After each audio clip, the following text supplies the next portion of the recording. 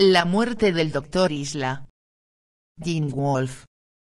Un grano de arena, oscilando al borde de un pozo, se agitó y cayó dentro en el fondo. La hormiga león surgió furiosa. Durante un momento todo quedó en silencio. Luego, el pozo y un metro cuadrado de arena que lo rodeaba se agitaron como borrachos mientras dos cocoteros se inclinaban para mirar. La arena se amontonó en el borde y surgió la cicatrizada cabeza de un muchacho, una maraña de cabello castaño le cubría casi las suturas. Con los oscuros ojos dilatados, se detuvo, el cuello, justo donde había estado la hormiga león y como aguijoneado desde abajo, saltó hacia la playa, se volvió y arrojó la arena a puntapiés dentro del hoyo de donde había emergido y lo obturó por completo. El muchacho aparentaba unos catorce años. Durante un rato se mantuvo agachado empujando a un lado la arena para encontrar la entrada.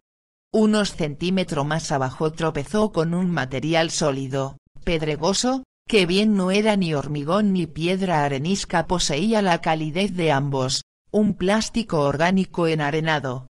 Rascó hasta que los dedos se le pusieron en carne viva pero no consiguió dar con los bordes del hueco.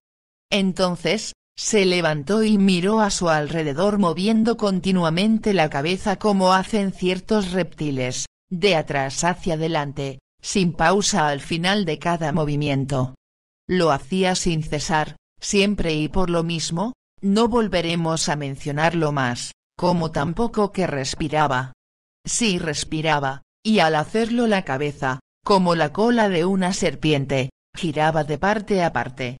El muchacho era delgado, desnudo y liso como una rana.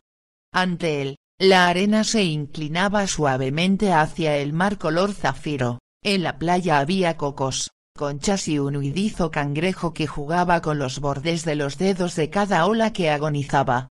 Detrás de él solo se veían palmeras y arena. Las palmeras crecían cada vez más juntas a medida que se alejaban del mar hasta que el bosque de sus columnatas de tronco semejaba arquitectónica, como un laberinto palaciego cubierto de enredaderas y lianas de hojas verdes, escarlata y amarillas, se entrelazaban con bambúes, y árboles de hojas caducas salpicados de refulgentes orquídeas hasta lo que alcanzaba su vista, para acabar en un muro sembrado de lentejuelas cuyo color predominante era el verde oscuro. El muchacho se dirigió a la orilla y se metió en el mar hasta que el agua, caliente como la sangre, le llegaba casi a las rodillas. Introdujo las manos y la probó, era pura, sin pizca de esos desinfectantes a los que estaba habituado. Vadeó por la orilla, salió a la arena y se sentó a unos cinco metros de la franja que bordaban las olas y a los diez minutos, en los que no oyó más ruido que el del viento y el mar, echó atrás la cabeza y empezó a gritar.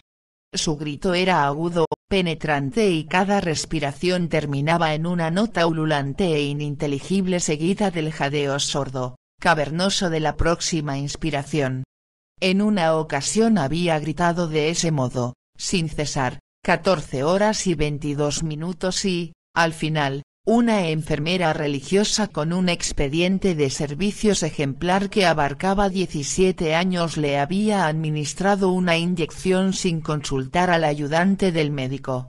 Pasado un rato el muchacho paró, no porque estuviera cansado, sino para escuchar mejor, pero solo se oía el silbido del viento entre las frondosas palmeras y el murmullo de las olas al romper, pero le pareció oír una voz. El muchacho lo mismo se mostraba tranquilo que bullicioso y ahora estaba quieto v callado. Con la mano izquierda levantaba arena, tan blanca v pura como sal, que se deslizaba por entre los dedos mientras con la derecha arrojaba chinas, y guijarros transparentes como cuentas de cristal a las olas rompientes. Óyeme, dijo la ola. Óyeme. Óyeme. Te oigo, contestó el chico. Bueno replicó la ola y el eco resonó débil, bueno, bueno, bueno. El muchacho se encogió de hombros. ¿Cómo debo llamarte? preguntó la ola. Me llamo Nicolás Kenneth Devore. Nick, Nick, Nick. El chico se levantó y volviéndose de espaldas al mar caminó tierra adentro. Cuando hubo perdido de vista el mar tropezó con un cocotero doblado en ángulo, reclinándose y meciéndose entre sus compañeros como el penacho de un reactor que asciende arrebatado por el viento. Tras palpar su tosco exterior con ambas manos empezó a trepar, era inexperto y se encaramaba despacio y un poco torpe, pero su cuerpo era ligero y fuerte. No tardó en llegar a la copa, molestando a los monitos pardos y felpudos que huyeron chillando a otra palmera, dejándolo solo entre los tallos y la fronda de los verdes cocos. También yo estoy aquí proclamó una voz desde la palmera. El muchacho, que miraba el cielo color zafiro V que oscilaba sobre su cabeza, lanzó una exclamación. Te llamaré Nicolás. Veo el mar dijo el chico. ¿Sabes cómo me llamo? El chico no contestó. Por debajo de él, el largo tallo de la torcida palmera se movía ligeramente. Mis amigos me llaman Doctor Isla. Yo no te llamaré así. Con eso indicas que no eres mi amigo. Una gaviota chilló. Sin embargo, te acepto como amigo. Aunque digas que yo no soy tu amigo yo afirmo que sí lo, eres. Me gustas, Nicolás, y te trataré como un amigo. ¿Eres una máquina? ¿Una persona o un comité? Preguntó el muchacho. Soy todo eso y aún más. Soy el espíritu de esta isla, el genio tutelar. Mentira. Ahora que nos hemos conocido, ¿prefieres que te deje? Tampoco esta vez contestó el muchacho. Quizá prefieras quedarte solo con tus pensamientos. Quisiera decirte que hoy hemos progresado más de lo que suponía. Presiento que los dos nos vamos a llevar muy bien. Pasados quince minutos, el muchacho preguntó, ¿de dónde viene la luz? Signo de interrogación no hubo respuesta. El chico aguardó un rato, luego se deslizó por el tronco, se soltó a unos cinco metros del suelo y cayó rodando sobre la blanda arena. De nuevo se dirigió a la orilla, donde se detuvo para contemplar el mar vio que a lo lejos se curvaba hacia arriba, las lejanas olas rompían en una espuma blanca hasta que el mar se volvió como un cielo salpicado de blanco. A su derecha y a su izquierda la playa se desvanecía en una curva doblándose hacia el infinito. Echó a andar y vio, casi en el punto donde se perdía la vista, una figura humana. Echó a correr y un momento después se detuvo para volverse. A lo lejos, otro caminante, apenas visible, recorría la playa a largos trancos. Nicolás no hizo caso, encontró un coco y trató de abrirlo luego, lo arrojó a un lado y prosiguió la marcha. De vez en cuando, saltaba un pez y vio también un ave marina que revoloteaba y se zambullía en picado. La luz menguaba. Se percató de que hacía rato que no había comido, pero, a decir verdad, no estaba hambriento en el estricto sentido de la palabra, le gustaba sentir hambre del mismo modo que en cierta ocasión se rajó el brazo para verlo sangrar. Al pasar ante una palmera llamó, Doctor Isla, y se puso a tararear, Doctor Isla, Doctor Isla, Doctor Isla, hasta que las palabras perdieron todo significado. Nadó en el mar como le habían enseñado en las grandes cisternas de asistencia médica de Calixto, para mejorar su coordinación y chapoteaba y resoplaba hasta que se acostumbró a las olas. Cuando oscureció tanto que apenas veía la blanca arena y la blanca espuma de las olas al romperse, bebió del mar y se durmió en la playa. Apoyó primero el lado derecho de su tenso y feo rostro, de modo que parecía dormido mientras conservaba abierto y mirando el ojo izquierdo mecía la cabeza de lado a lado, la comisura izquierda de la boca conservaba, como una mascarilla, su expresión característica, enfado, aislamiento, matizada de esa cualidad inhumana que solo se encuentra en ciertos semblantes humanos. Cuando despertó aún no había luz pero la noche se esfumaba en una suavidad gris, las palmeras, desmochadas, se alzaban como altos fantasmas de parte a parte de la playa, los remates, perdidos en la niebla, y la menguante oscuridad. Sintió frío. Se frotó los costados con las manos, bailó sobre la arena y echó a correr hacia el borde del mar para entrar en calor ante él, un puntito rojo se convirtió en una hoguera y aflojó la marcha. Un hombre que aparentaba unos 25 años se hallaba agachado junto al fuego.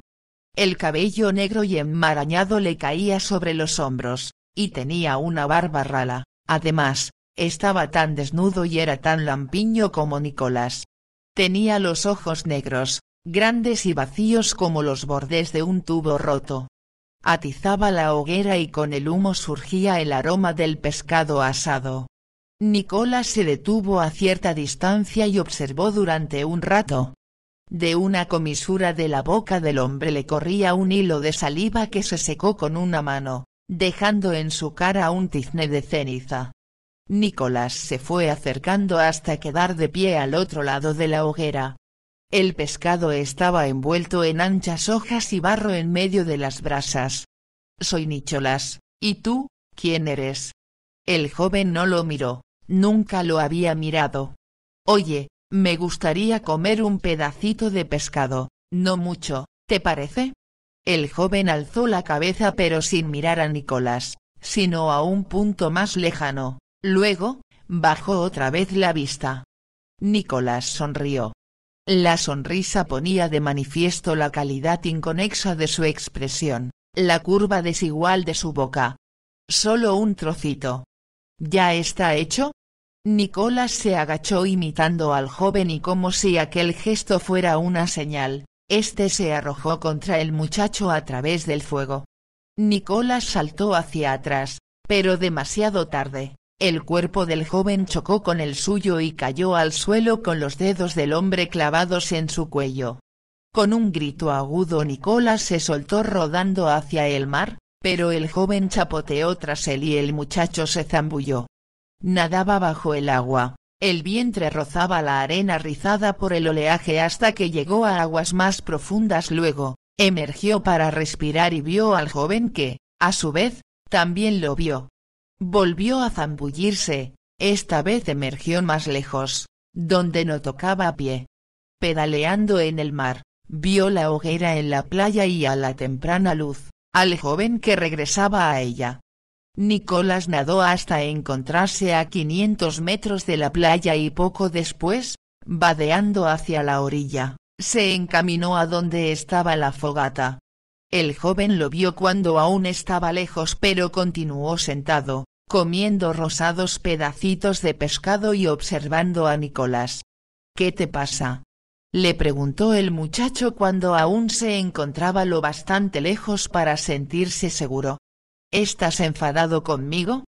Desde el bosque los pájaros le avisaron, ten cuidado, Nicolás. No te haré daño, contestó el joven. Se levantó secándose contra el pecho las aceitosas manos y con un gesto le indicó el pescado que estaba a sus pies. ¿Quieres un poco?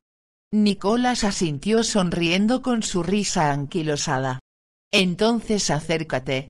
Nicolás aguardó, esperando que el joven se apartase del pescado, pero no lo hizo, ni tampoco le devolvió la sonrisa. Nicolás, Susurraban las pequeñas olas a sus pies este es Ignacio. Oye, ¿de veras me vas a dar un poco? preguntó Nicolás. Ignacio afirmó con la cabeza sin sonreír.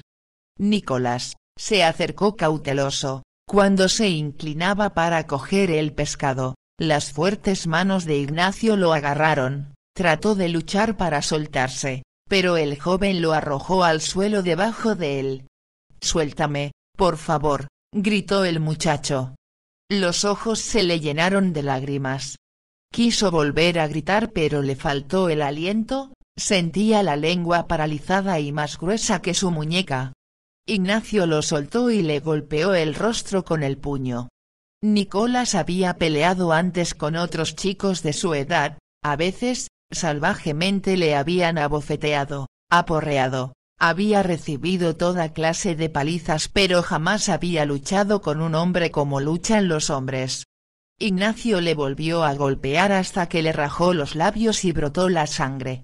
Permaneció largo rato tendido sobre la arena junto a la hoguera que se extinguía. Poco a poco fue recobrando el conocimiento, parpadeó, se movió, volvió a parpadear. Tenía la boca llena de sangre y cuando la escupió sobre la arena, se formó un cuajarón como carne blanda, oscura y polimorfa. Tenía el carrillo izquierdo enormemente hinchado y apenas veía con el ojo izquierdo. Pasados unos minutos se arrastró hasta el mar y al cabo de un rato salió y se encaminó tembloroso hacia las cenizas de la fogata. Ignacio se había ido, solo quedaban las espinas del pescado. Ignacio se ha ido, dijo el doctor Isla desde la cresta de las olas. Nicolás se sentó en la arena con las piernas cruzadas. Te libraste muy bien de él.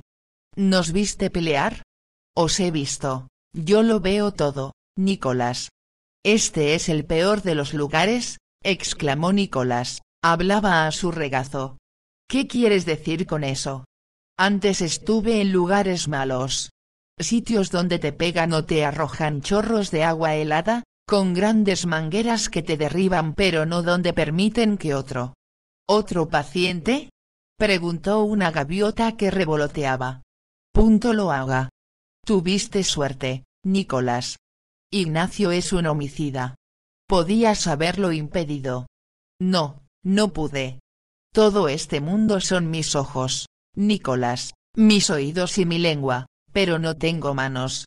Creí que habías hecho todo esto, todo lo hicieron los hombres. Pensé que tú permitiste que le siguiera.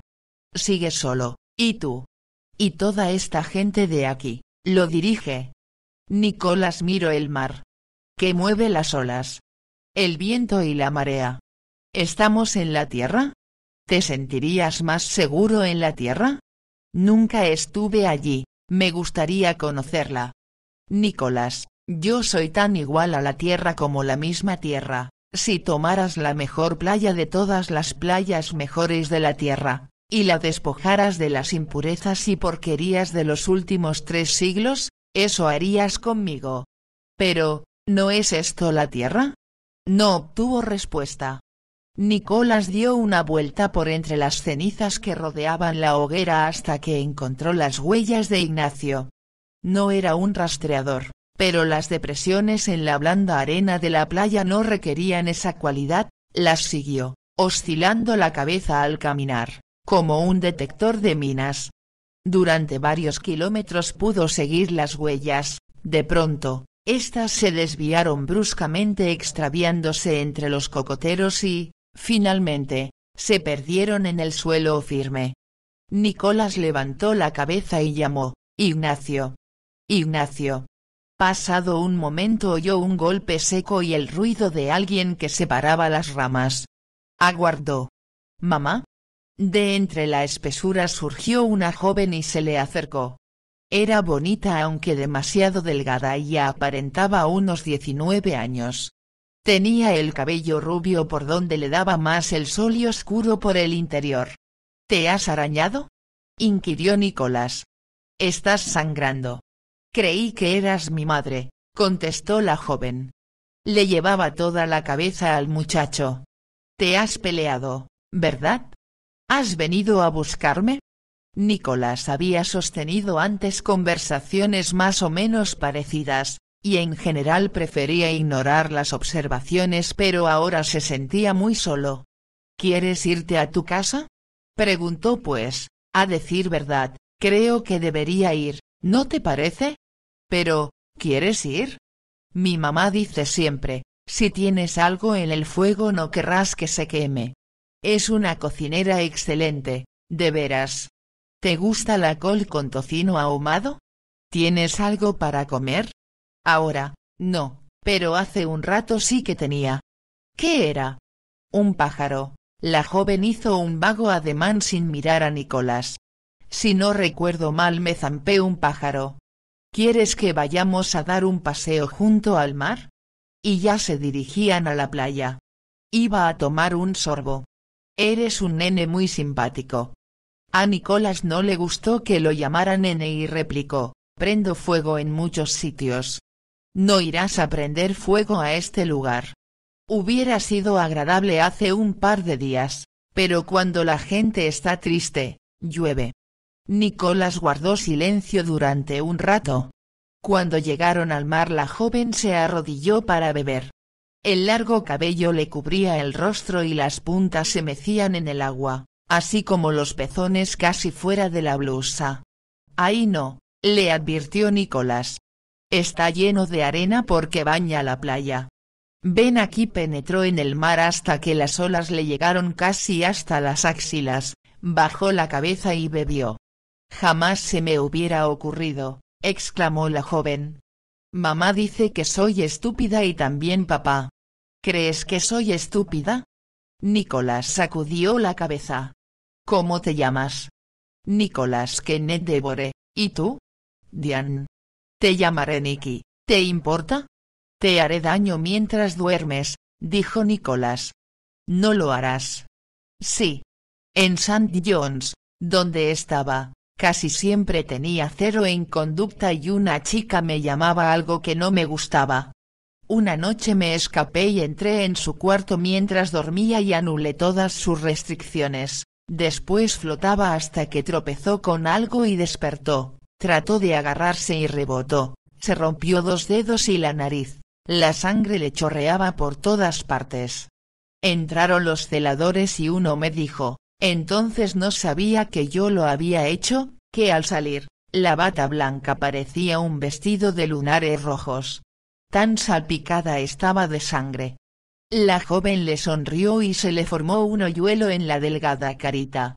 ¿Cómo descubrieron que fuiste tú? Se lo dije a alguien que luego lo contó. Apuesto a que lo dijiste tú. Te juro que no, se alejó furioso por el agua, pero apenas había dado unos pasos, volvió a la playa y se sentó en la arena de espaldas a ella. No fue mi intención ofenderle, señor Devore. No estoy ofendido, la joven no estaba muy segura de lo que el chico pensaba. Se sentó a su lado, aunque un poquito más atrás y empezó a amontonar arena en su regazo. Veo que os habéis conocido, exclamó el doctor Isla. Nicolás se volvió buscando la voz. Pensé que lo veías todo.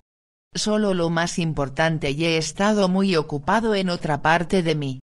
Me alegra saber que os conocéis, ¿Os gusta vuestra relación? Ninguno de los dos respondió. Debéis obrar de mutuo acuerdo con Ignacio, os necesitáis. No sabemos dónde está, contestó Nicolás. Caminad a la izquierda, playa abajo, hasta que veáis la gran piedra, luego, girad tierra adentro, unos 500 metros. Nicolás se levantó y dando la vuelta a la derecha echó a andar. Diane le siguió corriendo hasta alcanzarlo. No me gusta dijo Nicolás sacudiendo un hombro para indicar algo detrás de él. Ignacio? El doctor. ¿Por qué mueves la cabeza de ese modo? ¿No te lo han dicho? Nadie me ha hablado de ti. La abrieron por completo, Nicolás se tocó las cicatrices, entonces cortaron con un cuchillo todo mi corpus. Corpus. Corpus callosum exclamó el seco ramaje de una palmera el cerebro es como el interior de una nuez. Hay dos mitades y justo en medio una especie de carne gruesa que las une. Pues bien, cortaron eso. Te estás burlando de mí, ¿verdad? No, no se burla, le dijo un mono que había llegado hasta la orilla en busca de mariscos. Le han dividido el cerebro quirúrgicamente, consta en su ficha. Era un mono joven, con una cara convincente llena de pequeños y feos lunares. Está en mi cabeza, saltó Nicolás. Creí que eso te mataría o haría de ti un idiota, sugirió Diane. Dicen que la mitad de mí es tan lista como las dos juntas de todos modos esta mitad es. La mitad. El que habla soy yo. Entonces, ¿eres dos? Si cortas un gusano por la mitad y ambas partes viven son dos, ¿no? ¿Qué otra cosa podría ser? Nunca más volveremos a unirnos. Pero, Yo hablo solo a uno de ti. Los dos te oímos. ¿Cuál contesta? Nicolás se tocó el lado derecho del pecho con la mano derecha. Yo, contesto yo.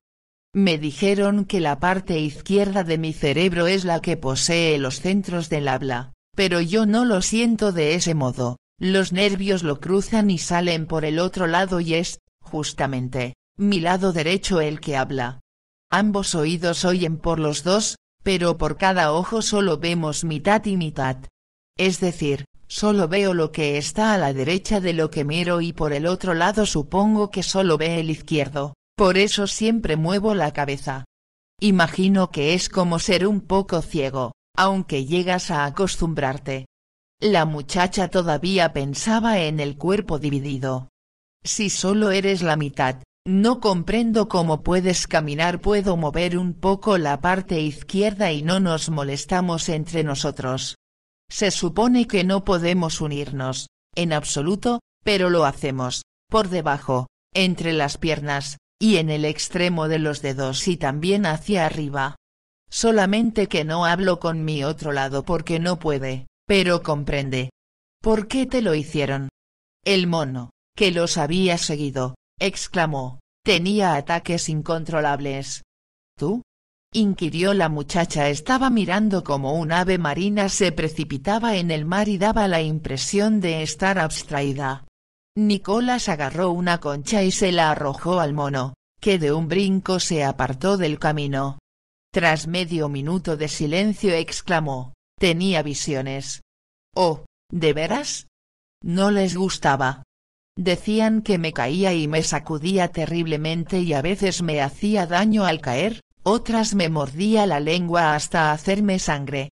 Pero no es eso lo que me parece, no supe nada de esas cosas hasta después. Para mí fue como si hubiera ido muy lejos y tuviera que retroceder. No quería el viento sacudió el cabello de Diane, que se lo echó hacia atrás para despejarse la cara. ¿Veías cosas que iban a pasar? A veces. ¿De veras?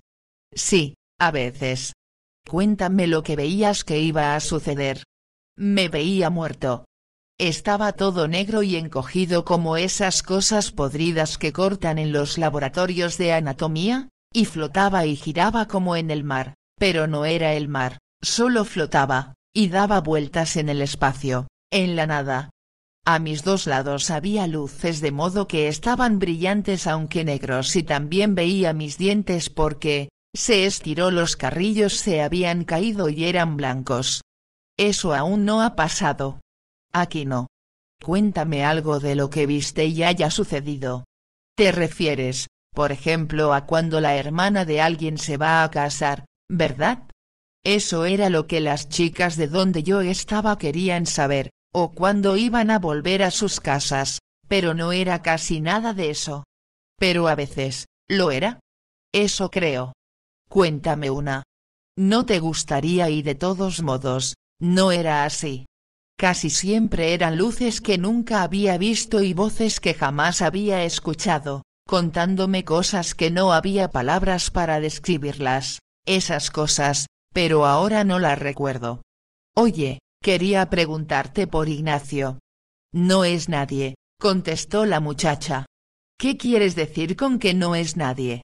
¿Hay alguien aquí además de ti, de mí, de Ignacio y del doctor Isla? No que podamos ver y tocar. El mono gritó, hay otros pacientes, pero de momento, oye, Nicolás, por tu propio bien y el suyo, es mejor que sigas siendo tú mismo. Era una frase demasiado larga para un mono. ¿Qué es eso? Si te lo digo, ¿me contarás algo de lo que viste y pasó realmente? De acuerdo. Primero, cuéntame. Donde yo estaba había una chica llamada Maya. Como ya sabes, tenían dormitorios de chicos y de chicas, pero nos veíamos todos en la sala de recepción, en el comedor, etc., y ella estaba en mi grupo de psicodrama. Tenía el cabello negro y brillante corno los muebles lacados del Dr. Hong, la piel blanca como la madreperla, los ojos grandes, de mirada felina, te hacían pensar en los de un gato, de un azul tan intenso que parecía negro. Tenía 15 años, o así lo creía Nicolás, quizá 16. Me voy a casa, le dijo. Era durante el psicodrama y él representaba a su hermano, menor que ella, y Maya ya estaba en su casa pero, al decirlo, el flotante aro de luz que lo separaba de la pequeña audiencia, doctor paciente, cesó, por acuerdo inmediato. Para convertirse en el cuarto de estar de la madre de Maya y luego en un salón. Nicolás, Jerry gritaba, ¿eh? Esto es estupendo. Tengo una bicicleta nueva, cuando vengas a casa, ¿querrás montar? La madre de Maya barra Maureen contestaba, no, Maya. Tropezarás y te romperás los dientes, y ya sabes lo que cuestan. No dejas que me divierta. Por supuesto que sí, mi vida, pero de otro modo. Una joven ha de tener mucho cuidado. Oh. Maya, quisiera que entendieras cuánto cuidado debe tener una chica. Nadie protestó, de modo que Nicolás Jerry añadió, tiene una propulsión con tres paletas, y les ataré unos gallardetes con cinta adhesiva y cuando baje por el corredor de esos tipos del B, gritarán, cuidado, ahí viene ese loco derrapando. Así, dijo Maya, juntó las piernas y extendió los brazos para imitar una bicicleta con hélice de tres paletas o un crucifijo.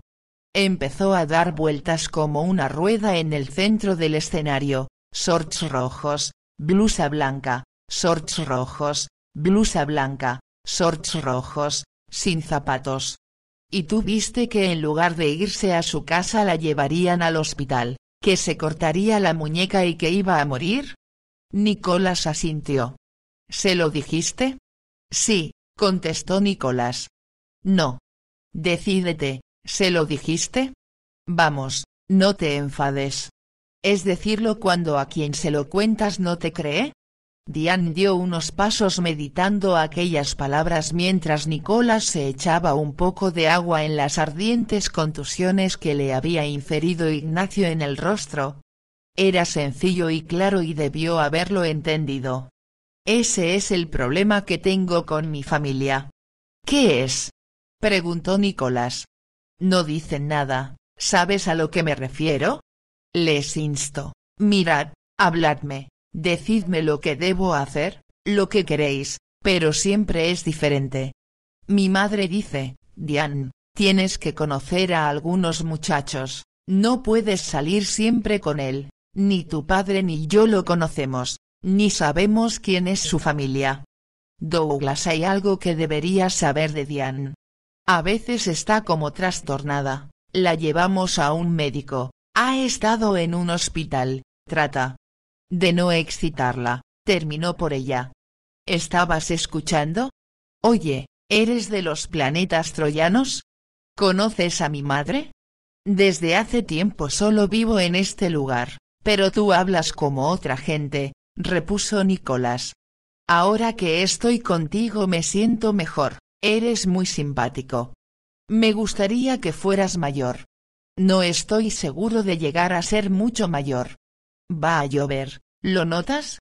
Nicolás Neshokor mira, Diane saltó unos tres metros por el aire como un conejito desgarbado. ¿Ves lo alto que puedo saltar? Eso indica que la gente está triste y va a llover. Te lo dije. No me lo has dicho. Sí, Nicolás, recuérdalo.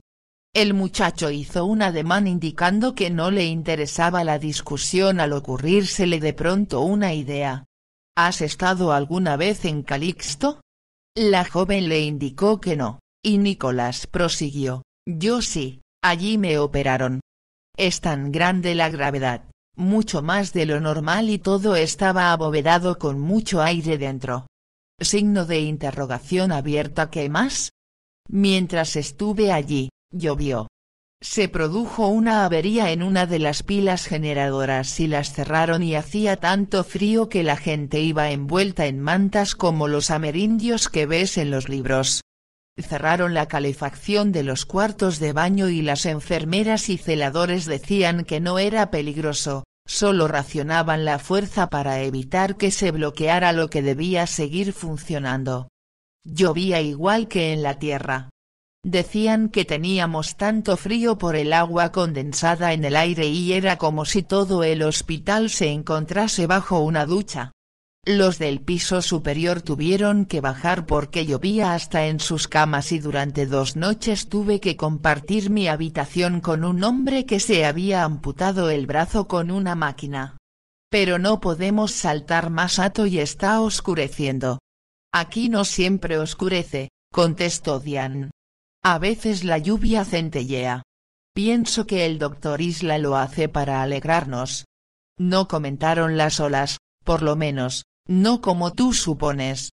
Nicolás estaba hambriento y les pidió algo de comer, luego, enemistó al, hambre contra ella misma, escupió en la arena y se quedó tranquilo. Llueve cuando muchos de vosotros estáis tristes, susurraban las olas, porque la lluvia es triste para el alma humana. Quizás esa misma tristeza palia la melancolía porque recuerda a los desgraciados sus propias lágrimas. Bueno, pero yo a veces me encuentro mejor cuando llueve. Lo cual debiera contribuir a que te comprendieras mejor. Mucha gente vive en calma cuando el ambiente que la rodea se halla en armonía con sus emociones y angustiada cuando sucede lo contrario. Una persona remite su cólera en una habitación encarnada y los infelices solo se exasperan con el sol y el canto de los pájaros. Recuerda, y echándote de menos camino distraído por el seco prado, liso, suave, para contemplar la andariega luna caminando junto al mediodía como una gacela ha sido extraviada por el camino sin senda, del ancho cielo. Diane movió la cabeza en sentido negativo. ¿Lo escribió alguien? Dijiste que no podías hacer nada, arguyó Nicolás. Las olas replicaron, no pudo. Excepto hablarte. Vosotras hacéis llover. Tu corazón late, percibo sus latidos hasta cuando hablo, ¿dominas los latidos de tu corazón? No puedo dejar de respirar. Sinceramente, Nicolás, ¿puedes detener tu corazón? Supongo que no. Tampoco yo domino el tiempo de mi mundo, ni impido que nadie haga lo que desea o te doy de comer si tienes hambre. Por mi parte y por propia voluntad no es imprescindible que tus emociones sean vigiladas, dosificadas y nuestro tiempo responde, calma y sol para la tranquilidad, lluvia para la melancolía, tormentas para la ira y así sucesivamente. Esto es lo que la humanidad siempre ha querido. ¿Qué es? Preguntó Diane. Que el entorno debiera responder al pensamiento humano. Es la esencia de la magia v el sueño más antiguo de la humanidad, y aquí, en mí, es un hecho. ¿Así que nos curaremos? Nicolás profirió enojado, no estás enferma. Por lo menos algo de vosotros puede regresar a la sociedad, opinó el doctor Isla. Nicolás lanzó una concha al mar como si quisiera golpear la boca que hablaba. ¿Por qué hablamos de eso? Aguarda, pequeño creo que es interesante. Mentira y solo mentira. ¿Cómo miento, Nicolás? Preguntó el doctor Isla, dijiste que era magia. No, dije que cuando la humanidad ha soñado la magia el deseo oculto tras ese sueño ha sido la omnipotencia del pensamiento. ¿No has deseado alguna vez ser mago, Nicolás, haciendo surgir palacios de la noche a la mañana o montando un caballo encantado de ébano para luchar con los demonios del aire? Yo soy un mago.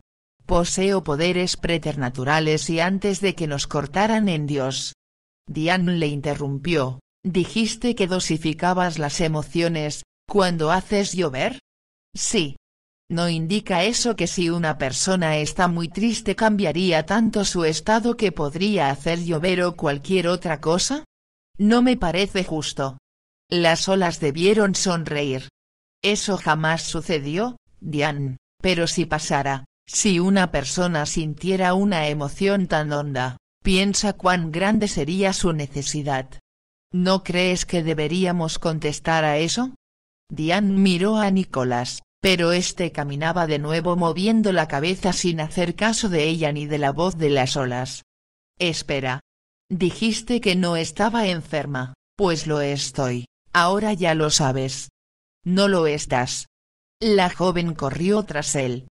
Todos lo afirman y unas veces me siento confusa y otras hiervo por dentro sí, hiervo. Mamá dice que si tienes algo en el fogón no querrás que se queme, solo tienes que sostener con un dedo el asa del perol y ya no se quema, pero yo no lo consigo, no siempre encuentro el asa o no me acuerdo. Sin volverse a mirarla el muchacho sentenció, tu madre seguramente está enferma y quizá también tu padre, no lo sé. Pero tú no lo estás. Solo con que te dejaran sola te pondrías buena. ¿Cómo resistes tener que vivir con dos personas estúpidas? Nicolás, y lo agarró por los delgados hombros. Eso no es cierto. Sí lo es. Estoy enferma, todos lo dicen. Yo no, así que todos solo son los que lo afirman, ¿no es cierto? Y si tú tampoco estás de acuerdo, ya somos dos, ya ves que no son todos. La muchacha llamó, ¿Doctor? ¿Doctor Isla? No irás a creerla, ¿verdad? Doctor Isla, ¿es cierto? ¿Qué es cierto, Diane? Lo que dijo. ¿Estoy enferma? La enfermedad, aunque sea física es relativa, Diane. La salud completa es un ideal, una abstracción, aunque no lo sea en el otro platillo de la balanza. Ya sabes a lo que me refiero. Físicamente no estás enferma. Una ola larga y azulada se curvó en una línea de silbante rocío que llegó desde el infinito del mar a su derecha y a su izquierda. Como afirmaste hace un momento, a veces estás confundida y otras, inquieta. Dijo que si no fuera por otra gente, si no fuera por mi padre y mi madre, no tendría que estar aquí. Diane. Punto bien, ¿es cierto o no? Diane, la mayoría de las enfermedades emocionales no existirían si uno pudiera separarse tanto en pensamiento como en circunstancia, aunque solo fuera por algún tiempo. ¿Separarse uno mismo? ¿No has pensado alguna vez en marcharte, aunque solo fuera una temporada? La joven asintió, luego, como si no estuviera muy segura de que el doctor Isla pudiera verla dijo, supongo que muchas veces, Dejar la escuela y tener mi propio piso en alguna parte. Ir a Aquiles. A veces lo he deseado ardientemente. ¿Por qué no lo hiciste? Se hubieran preocupado y de cualquier modo, me habrían encontrado obligándome a volver a casa. Signo de interrogación abierta serviría de algo si yo. O un doctor humano, les convenciera para que no te obligasen? Como la joven no respondiera, Nicolás profirió, podrías haberlos encerrado. Nicolás, son personas activas. Compran y venden, trabajan y pagan los impuestos. De nada serviría, Nicolás, están dentro de mí, expuso Dian con dulzura. Dian ya no funciona, en la universidad fallaba en cada tema y, en cuanto aparecía en la clase, su presencia molestaba a los profesores y estudiantes. No funcionaba si la gente de tu edad tenía miedo de ti. Eso es lo que deberías hacer, funcionar. Si fuera diferente a todos, ¿te serviría cuando volvieras al mundo? Eres diferente, Nicolás dio un puntapié a la arena. Nadie ha visto jamás un lugar como este. ¿Quieres decir que para ti la realidad es los pasillos de metal, las habitaciones sin ventanas, el ruido? Sí, eso es la irrealidad, Nicolás. Muchas personas no tuvieron que soportar nunca tales cosas. Aún ahora, este. Mi playa, mi mar, mis árboles. Están más en armonía con las vidas humanas que tus pasillos de metal, y aquí, yo soy tu entorno, social, lo que la gente llama ellos. Mira, a veces, si tomamos a personas que se sienten molestas por algo, como por ejemplo yo, y las trasladas a un lugar idealizado por la naturaleza, les sirve de mucho. Vamos, dijo Nicolás a la muchacha. La tomó del brazo dándose perfecta cuenta de que era mucho más bajo que ella. Una pregunta, murmuraron las olas. Si los padres de Diane hubieran venido aquí en lugar de ella, ¿crees que les hubiera servido de mucho? Nicolás no contestó. Tenemos tratamientos para personas perturbadas, pero por ahora, Nicolás, no tenemos ninguno para personas que perturban. Diane y el muchacho se habían vuelto y el silbido y chapoteo de las olas cesó de conversar. Las gaviotas giraban por encima, y un loro encarnado y amarillo revoloteó de una palmera a otra. Un mono, corriendo a cuatro patas como un perrito, se acercó a ellos y Nicolás lo persiguió, pero el animal logró escapar. Algún día me llevaré a uno de esos y lo haré servir de títere. ¿Vamos a dar toda la vuelta? preguntó Diane. Posiblemente hablaba consigo misma. ¿Te ves con ánimo? Oh, no puedes dar toda la vuelta al doctor Isla, sería demasiado largo, y aún así, no llegarías. Pero podemos caminar hasta que regresemos al punto de partida. Casi seguro que nos encontramos a medio camino. ¿Ves otras islas desde aquí? La joven hizo un gesto negativo. Creo que no, en este satélite solo hay esta gran isla, el resto es mar. Si solo hay esta isla vamos a darle la vuelta y regresaremos a donde comenzamos. ¿De qué te ríes? Echa un vistazo a la playa, hacia abajo y tan lejos como puedas. No importa si se desliza por el lado. Da la impresión de que es recta. No veo nada, ¿de veras? Mira, Diana esta vez saltó seis metros y agitó los brazos. Parece que abajo, en la playa, hay alguien. Uy, ahora parece que está detrás.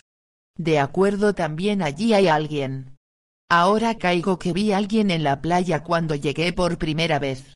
Era divertido mirar tan lejos, pero pensé que se trataba de otros pacientes. Ahora diviso dos personas. Somos nosotros, Seguramente fuiste tú la persona que viste la otra vez. Hay tantos como nosotros en cada zona de la playa y el doctor Isla solamente quiere que se mezclen algunos. Así, el espacio se inclina alrededor. Cuando lleguemos a un extremo de nuestra zona y tratemos de cruzarla estaremos al otro lado. ¿Cómo lo descubriste? Cuando llegué y el doctor Isla me lo dijo, la muchacha guardó silencio un momento y su sonrisa se esfumó. Oye, Nicolás, ¿quieres ver algo muy divertido? ¿Qué? Y al preguntarle cayó en la cara una gota de lluvia. Ya verás. Vamos, deprisa. Tenemos que internarnos en vez de quedarnos en la playa, así podremos guarecernos de la lluvia debajo de los árboles. Cuando abandonaron la playa y el rumor de las olas y estuvieron sobre la tierra firme bajo los árboles de verde follaje Nicolás comentó, quizás encontremos frutos. Se sentían tan ligeros que debían ir con cuidado para no saltar por el aire a cada paso. La lluvia caía lentamente sobre ellos en esferas de cristal. Quizá, contestó la joven dubitativa. Espera, Parémonos aquí. Se sentó bajo un enorme árbol que extendía 20 metros de bóveda de madera sobre el oscuro y musgoso suelo. ¿Quieres trepar para ver si encuentras algo? Está bien, acordó Nicolás. De un salto se asió fácilmente a una rama sobre la cabeza de la muchacha. En un instante se encaramaba a un mundo verde con la lluvia tamborileando a su alrededor siguió por las ramas que se iban estrechando y penetró en la enorme frondosidad donde el agua fría corría. Desde cada ramita que rozaba, y en dos ocasiones halló vacíos los nidos de los pájaros y en otra, tropezó con una delgada serpiente tan verde como las hojas con una cabeza del tamaño de su pulgar, pero no encontró fruta. Nada, exclamó defraudado, cuando se dejó caer junto a la joven. No importa, ya encontraremos algo. Eso espero, y observó que la chica lo miraba extrañada. Entonces se percató de que la mano izquierda se le había levantado para tocarse la parte derecha del pecho. Mientras se la miraba, La bajó y notó que el rostro se le encendía. Lo siento, se disculpó. No te preocupes. Nos gustas. Está ahí, no puede hablar, como ya sabes, y creo que yo tampoco. Pienso que eres tú en dos trozos. No me importa. Gracias, había cogido una hoja, marchita y mojada y la estaba despedazando, primero la rompía con la mano derecha mientras la sostenía con la izquierda, luego a la inversa. ¿De dónde procede la lluvia? Los trocitos sucios de la hoja se le adherían a los dedos de ambas manos. ¿Cómo? ¿Que de dónde viene la lluvia? Supongo que no será porque aquí hace frío, como en Calixto, sino porque la gravedad empieza a descender, ¿verdad? Del mar. ¿No sabes cómo se creó este lugar? Nicolás hizo un gesto negativo. ¿No te lo enseñaron desde la nave cuando viniste? Es muy hermoso. A mí me lo enseñaron. Me quedé sentada mirándolo y no les hablaba. La enfermera creyó que no prestaba atención pero lo oía todo, solo que no quería hablar con ella. No sirvió de nada. Comprendo lo que sentías. Pero ellos, ¿no te lo mostraron? No, en mi nave me tenían encerrado porque quemé algo. Creían que no podía prender fuego sin una llama, pero si tienes electricidad en un enchufe de pared, es muy fácil. Me pusieron una cosa, ¿sabes? Y apretó los brazos contra el cuerpo para enseñarle cómo lo habían contenido. También mordí a uno. Creo que aún no te dije que muerdo. Me encerraron y durante mucho tiempo no hacía nada, luego noté que tropezábamos con algo, me agarraron y me obligaron a bajar por una escalera recta que no se acababa nunca. Luego, me atiborraron de tranquilizante fe, ignoraban que no me hacía efecto, levantaron una especie de puerta y me sacaron de un empujón. ¿No te desvistieron? Ya lo estaba. Cuando me ataron llevaba cosas en la ropa y me las quitaron, estaban furiosos, sonrió torcidamente. ¿Te hace efecto el tranquilizante C, o cualquiera de esos potingues? Supongo que sí, pero yo no hago esas cosas que haces quizás sería mejor que las hicieras. A veces me daban un medicamento que según decían servía para animarme, pero no me dejaba dormir y caminaba, Caminaba tropezando con los objetos y les molestaba mucho a todos, pero dime, ¿me ayudaría a mejorar? Nicolás se encogió de hombros. No hacerlas tampoco te sirve de alivio. Como ves, ambos estamos aquí. A propósito, sé que les pegué un susto, me inyectaron eso y ya no estoy loco, pero sé lo que es, y... Pienso en lo que haría si estuviera loco y lo hago y cuando pasa me alegro de haberlo hecho. Me parece que aún estás enfadado, cálmate Nicolás pensaba en algo más. Esta isla dice que Ignacio mata a la gente, tras una pausa, ¿cómo es? ¿Ignacio? No, a él ya lo he visto. El doctor Isla. Ah, te refieres a cuando yo estaba en la nave. El satélite es redondo, por supuesto, y claro, salvo donde está el doctor Isla, de modo que hay un punto oscuro, el resto es cristalizado y desde el espacio ni siquiera ves el mar. Lo que está arriba es el mar, ¿verdad?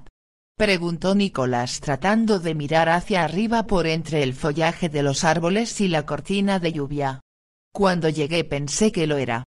Por supuesto, es como una bola de cristal y estamos dentro y también el mar que rodea toda la curva. Por eso veo tan lejos desde la playa, ¿eh? En lugar de bajar desde ti, como en Calixto, se dobla hacia arriba y lo ves. La muchacha asintió. Y el mar deja penetrar la luz, pero filtra los rayos ultravioletas. Además, nos proporciona calor específico, de ese modo no nos calentamos demasiado cuando estamos entre el sol y la mancha brillante. ¿Es la mancha brillante lo que nos mantiene calientes? Fíjate, le damos la vuelta en diez horas y así siempre. Porque no lo veo, entonces.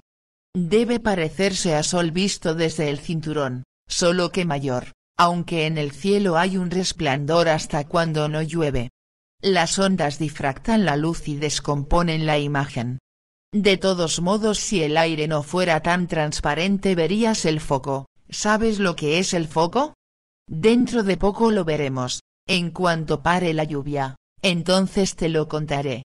Pero aún no entiendo lo de la lluvia. De pronto, Diane soltó una risita. Pensaba. ¿Sabes lo que suponían que iba a ser en la escuela? Callada. No, tonto, me refiero a lo que me hubieran enseñado después de graduarme. Iba a ser maestra. Imagínate, con todas esas cámaras enfocándome, y los niños mirando y lanzándome preguntas a las que debía responder, espantoso. Ahora lo hago aquí, pero solo con uno. ¿Te importa? En absoluto, hasta me divierte. Tenía en el muslo una marca amoratada V se la frotaba pensativa con la mano mientras hablaba. La gravedad se forma de tres maneras, ¿las conoces? Responde, alumno. Claro, aceleración, masa y síntesis. Eso está bien, el movimiento y la masa son dos curvas en el espacio, claro, por lo cual la paradoja de Zenón no estaba calculada de ese modo, y porque las masas se mueven entre sí, lo que llamamos caída, por lo menos lo intentan y si se separaran se produciría la tensión que percibimos como una fuerza, y llamamos peso y todas esas bobadas. Naturalmente, si curvas el espacio sintetizas un efecto de gravedad y eso es lo que mantiene toda esa agua contra la capa translúcida que solo se consigue con suficiente masa. ¿Te refieres a que este agua procede del mar? Y Nicolás levantó una mano para sostener una gota de lluvia que se movía lentamente. Exacto, un punto a tu favor. Mira, las diferencias de temperatura en el aire producen los vientos, y estos las olas y corrientes que viste mientras paseábamos por la playa. Cuando las olas rompen, lanzan hacia arriba esas gotitas y si te fijas verás que aun cuando está claro a veces saltan a gran distancia. Entonces, si la gravedad es menor, pueden separarse del todo y si nos hallásemos fuera volarían en el espacio, pero no lo estamos, sino dentro, de modo que lo único que hacen es cruzar el centro, más o menos, hasta que chocan otra vez con el mar, o el doctor Isla. El doctor Isla dijo que, a veces, cuando la gente se enfada hay tormenta.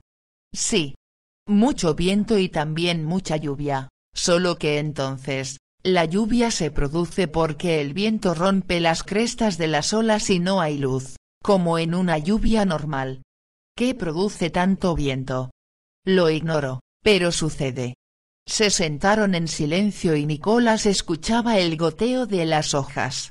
Entonces recordó que finalmente reformaban las naves del hospital para conseguir del aire los pequeños coágulos de sangre. La de malla se reparaba en las parrillas de los conductos de las válvulas de depuración, manchándolas de negro y alguien temió que se pudrieran y oliera mal.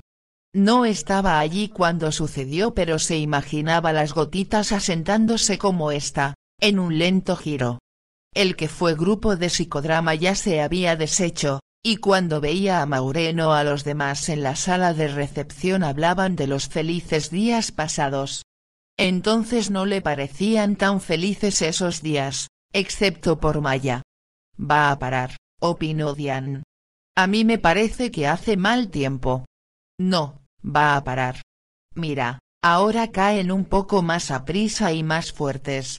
¿Descansaste bastante? ¿Nos vamos? Le preguntó Nicolás. Nos mojaremos. El chico hizo un gesto de indiferencia. No quiero mojarme el pelo, Nicolás. Dentro de un momento habrá cesado la lluvia. Nicolás se volvió a sentar. ¿Cuánto tiempo hace que estás aquí? No estoy segura. ¿No cuentas los días? Me despisto mucho. ¿Más de una semana? Nicolás, no me interrogues, ¿de acuerdo? No había nadie más en ese pedazo del doctor Isla aparte de ti, Ignacio y yo. No creo que aparte de Ignacio hubiera alguien más antes de llegar tú. ¿Quién es él? La muchacha lo miró bueno, ¿quién es él? Me conoces a mí, a nosotros, Nicolás Kenneth Devore, y tú eres Diane, ¿qué? Phillips. Para empezar, supongo que procedes de los planetas troyanos y yo del cinturón exterior. ¿Qué hay de Ignacio? A veces le hablas, ¿verdad? ¿Quién es? No sé, pero es importante. Nicolás permaneció unos instantes completamente inmóvil. ¿Qué quieres decir? Importante, la muchacha se estaba frotando las rodillas. Tal vez todo el mundo es importante. Nicolás, comprendo que eres solo un niño, pero no seas tan estúpido. Anda, ¿no querías marcharte? Pues vámonos, ya ha parado de llover, se alzó desperezándose y con los brazos en alto. Tengo las rodillas ásperas. Ahora que lo pienso, cuando llegué aún estaban suaves. Me frotaba con una loción porque mi papá cuando las tocaba, así como las manos y los codos, decía que si no eran suaves nadie me querría. Mamá no decía nada, pero no lo aprobaba. Yo guardaba una botella en mi cuarto y me ponía loción cuando venían a verme. Una vez bebí un poco. Nicolás seguía callado.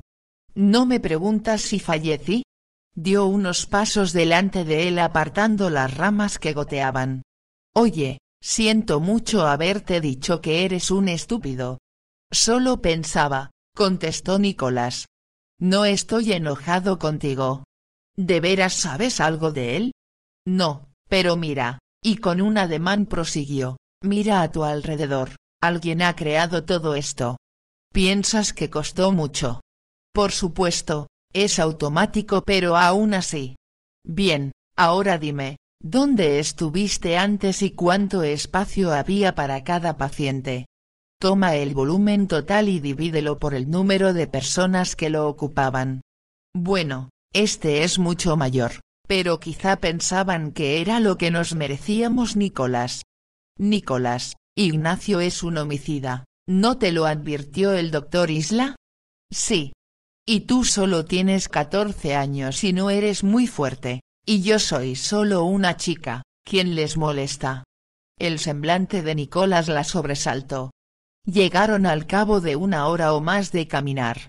Era una franja de vegetación marchita, parda y negra y revuelta, y tan recta como si la hubieran dibujado con una regla. Temía que no hubiera venido aquí, dijo Diane. Se traslada a donde hay tormenta. Quizá nunca vino a este sector. ¿De qué hablas? Del foco.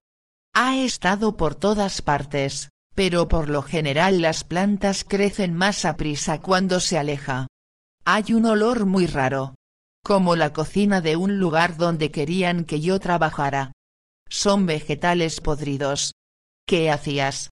Nada. Echar detergente en lo que guisaban. ¿Qué produce esto? La mancha brillante. Mira, cuando está justamente sobre la curva del cielo y el mar forma una lente. No es una lente muy buena. Dispersa mucho la luz, pero enfoca lo suficiente. ¿No nos abrasaría si pasara ahora, es eso lo que preguntas? ¿Por qué no hace mucho calor? Yo me he quedado en él, pero tú quieres salir en un minuto. Pensé que sería como si nos viéramos en la playa. Diane se sentó en el tronco de un árbol caído. Lo era, de veras. La última vez que estuve aquí, llegó más allá del mar y supongo que se quedaría mucho tiempo porque limpió un montón de cosas marchitas. Mira, por aquí los bordes del sector están más cerca, todo él se estrecha como un trozo de pastel. Puedes mirar el foco desde cualquier parte y te ves más cerca que en la playa, casi como si estuvieras en una habitación muy grande con un espejo en cada pared o como si tú mismo estuvieras detrás de ti. Pensé que te gustaría. Voy a probar desde aquí, anunció Nicolás y se encaramó a uno de los secos árboles mientras la joven esperaba abajo, pero las ramas secas crujieron y se quebraron bajo sus pies y ya no pudo seguir subiendo para verse en cualquier dirección. Al caer junto a Diane exclamó, tampoco aquí hay nada para comer. ¿Y ahí? No encontré nada. Ellos. Me refiero al doctor Isla, no nos dejarán morir de hambre, ¿verdad? No creo que pueda hacer nada, así es como se creó este lugar. A veces encuentras cosas, yo traté de pescar, pero nunca lo conseguí. Sin embargo, un par de veces Ignacio me dio parte de lo que tenía, para eso es bueno. Apuesto a que piensas que estoy flaca, ¿eh? Era más gordita cuando llegué. ¿Qué haremos ahora? Supongo que seguir caminando, tal vez volver al mar. ¿Crees que encontraremos algo? Desde un tronco podrido un insecto chilló, aguarda. ¿Sabes dónde hay algo? Preguntó Nicolás. ¿Algo para que comas tú? De momento, no, pero no lejos de aquí podría mostrarte algo mucho más interesante que este montón de árboles pudriéndose. ¿Te gustaría verlo? No vayas, Nicolás, invocó Dian. ¿Qué es? Dian, ¿quién llama a esto el foco? Llama a lo que quiero mostrarte el punto. ¿Por qué no debo ir? inquirió Nicolás. Yo no voy, ya estuve una vez. Yo la llevé profirió el doctor Isla, y te llevaré a ti. No lo haría si creyera que no te iba a servir de nada. Al parecer, a Diane no le gustó. Diane no quiere que la ayuden. La ayuda puede ser dolorosa y muchas personas no la aceptan. Pero mi deber es ayudar si puedo, tanto si quieren como si no. ¿Y si yo no quiero ir? En tal caso no puedo obligarte, ya lo sabes, pero serás el único paciente en este sector que no lo ha visto y también el más joven. Tanto Ignacio como Diane lo vieron, e Ignacio acude con frecuencia. ¿Es peligroso? No, ¿tienes miedo? Nicolás miró interrogante a Diane. ¿Qué es? ¿Qué veré? La joven se había alejado mientras Nicolás hablaba con el doctor Isla y estaba sentada con las piernas cruzadas a unos cinco metros de donde estaba Nicolás y se contemplaba las manos. Nicolás repitió, ¿qué veré, Diane? Aunque pensaba que la joven no le respondería. Un vidrio. Un espejo. ¿Solo un espejo? ¿Recuerdas lo que te dije cuando trepaste al árbol? El punto está donde los bordes se unen. Puedes verte, como en la playa, pero más cerca. Me he mirado en espejos muchísimas veces, respondió Nicolás desilusionado. El doctor Isla, cuya voz se encontraba ahora entre el susurro de las olas, preguntó, Nicolás, ¿tenías un espejo en tu cuarto antes de llegar aquí? Uno de acero. Así que, ¿no podía romperlo? Creo que no. A veces le arrojaba diversos objetos pero solo lo abollaba y al pensar en los reflejos deformes se echó a reír. Tampoco puedes romper este. Me parece que no merece la pena que lo vea. Creo que sí. Diane, ¿piensas aún que no debería ir? No obtuvo respuesta. La muchacha miraba el suelo frente a ella. Nicolás se acercó para observarla y vio que una lágrima había dejado una huella húmeda en cada una de sus flacas mejillas, pero al tocarla, ni se movió. Está catatónica, ¿verdad? Una rama verde que estaba justo fuera del foco asintió. Esquizofrenia catatónica. Tenía un médico que una vez pronunció esas mismas palabras. No significaban nada. El doctor era un roboterapeuta, pues un médico humano atendía solo a los de mayor prestigio. Los pacientes de los robots se sentaban en cabinas sin puertas en el caso de Nicolás, dos horas y media, una hora y media por la mañana y una hora por la tarde y le hablaban a algo que parecía una pequeña y amistosa nevera. Algunos se sentaban todo el día en silencio, mientras otros conversaban continuamente, y, para tales pacientes, los celadores raras veces se molestaban en dar cuerda a las máquinas. Quería decir causa y tratamiento. Era lo correcto. Nicolás contemplaba el cabello castaño con mechas doradas de la muchacha. ¿Cuál es la causa? Me refiero a ella. No lo sé. ¿Y cuál el tratamiento? Lo estás viendo. ¿Puedo ayudarla? Probablemente, no. Escucha, ella puede oírte, ¿no lo sabes? Oye todo lo que decimos. Nicolás, si mi respuesta te disgusta, la cambio. La aliviaría si ella consintiera que la ayudaran, si insiste en aferrarse a su enfermedad, no.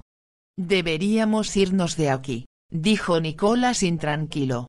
A tu izquierda encontrarás un pequeño sendero, apenas perceptible, entre el árbol torcido y el arbusto de flores amarillas. Nicolás echó a andar volviéndose varias veces para mirar a Diane. Las flores eran mariposas que al acercarse a ella revolotearon entre una nube de colores y se preguntó si el doctor Isla lo sabía.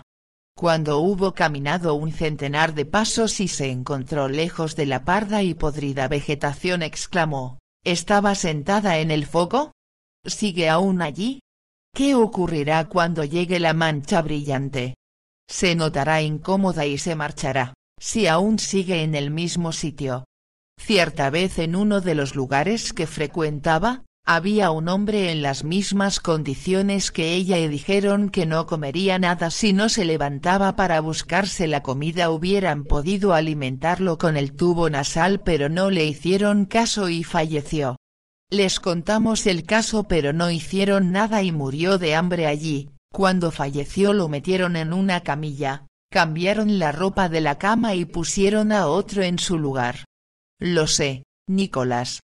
Se lo contaste a los doctores de St. John's, y consta en tu ficha, pero piensa un momento, hombres sanos se han muerto de hambre, sí, se han dejado morir, como protesta por lo que consideraban injusticias políticas. Es tan sorprendente que tu amiguita se mate del mismo modo como protesta por lo que considera una injusticia física.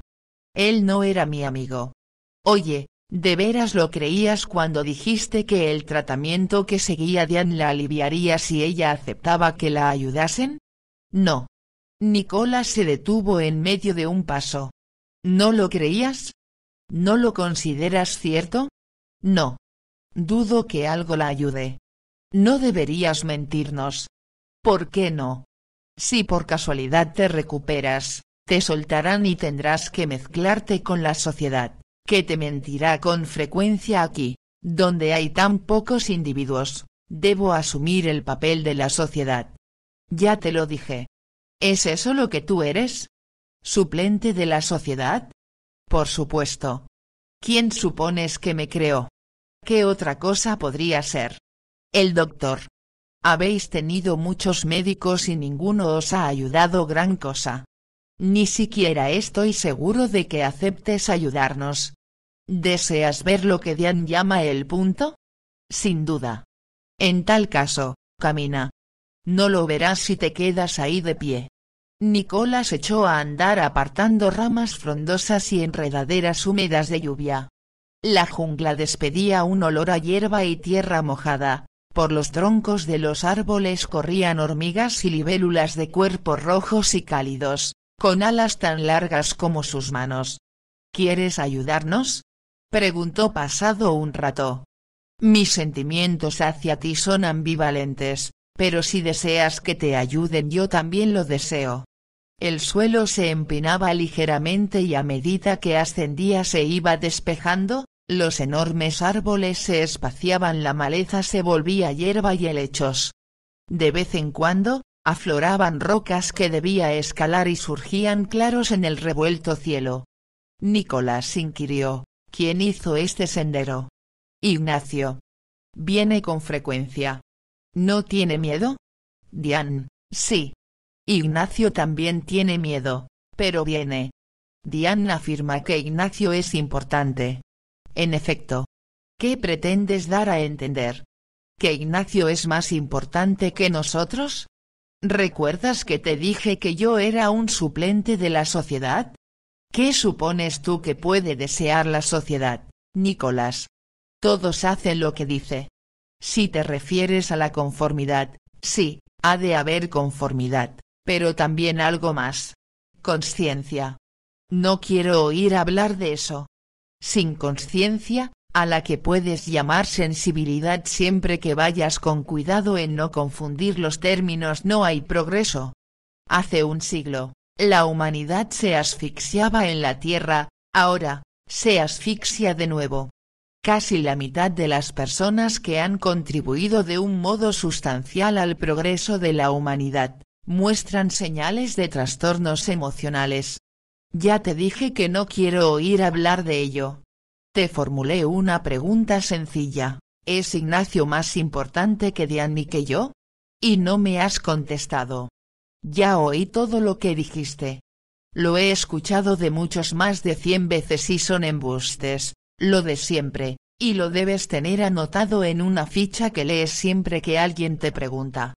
Esa gente a la que te refieres y que, según tú, se volvió loca, perdieron la razón porque mientras ayudaban a progresar a la humanidad o como lo llames, fueron arrojadas a puntapiés de sus casas porque no podían pagar y, en tanto a ellos los echaban, se enriquecían otros que jamás habían dado golpe en su vida, salvo pensar en llegar a donde hoy están. Nicolás, a veces resulta difícil determinar ante el hecho, o incluso el tiempo, quién merece respeto. ¿Cómo lo sabes si jamás lo intentaste? Has preguntado si Ignacio era más importante que Diane que tú. Solo puedo decirte que, a mi juicio, Ignacio promete una completa recuperación junto con una contribución sustancial al progreso humano. Si tan bueno es, ¿por qué está loco? A muchos les pasa, Nicolás. Incluso dentro de los planetas no existe un buen ambiente para la humanidad y nuestro espacio transmarciano es peor.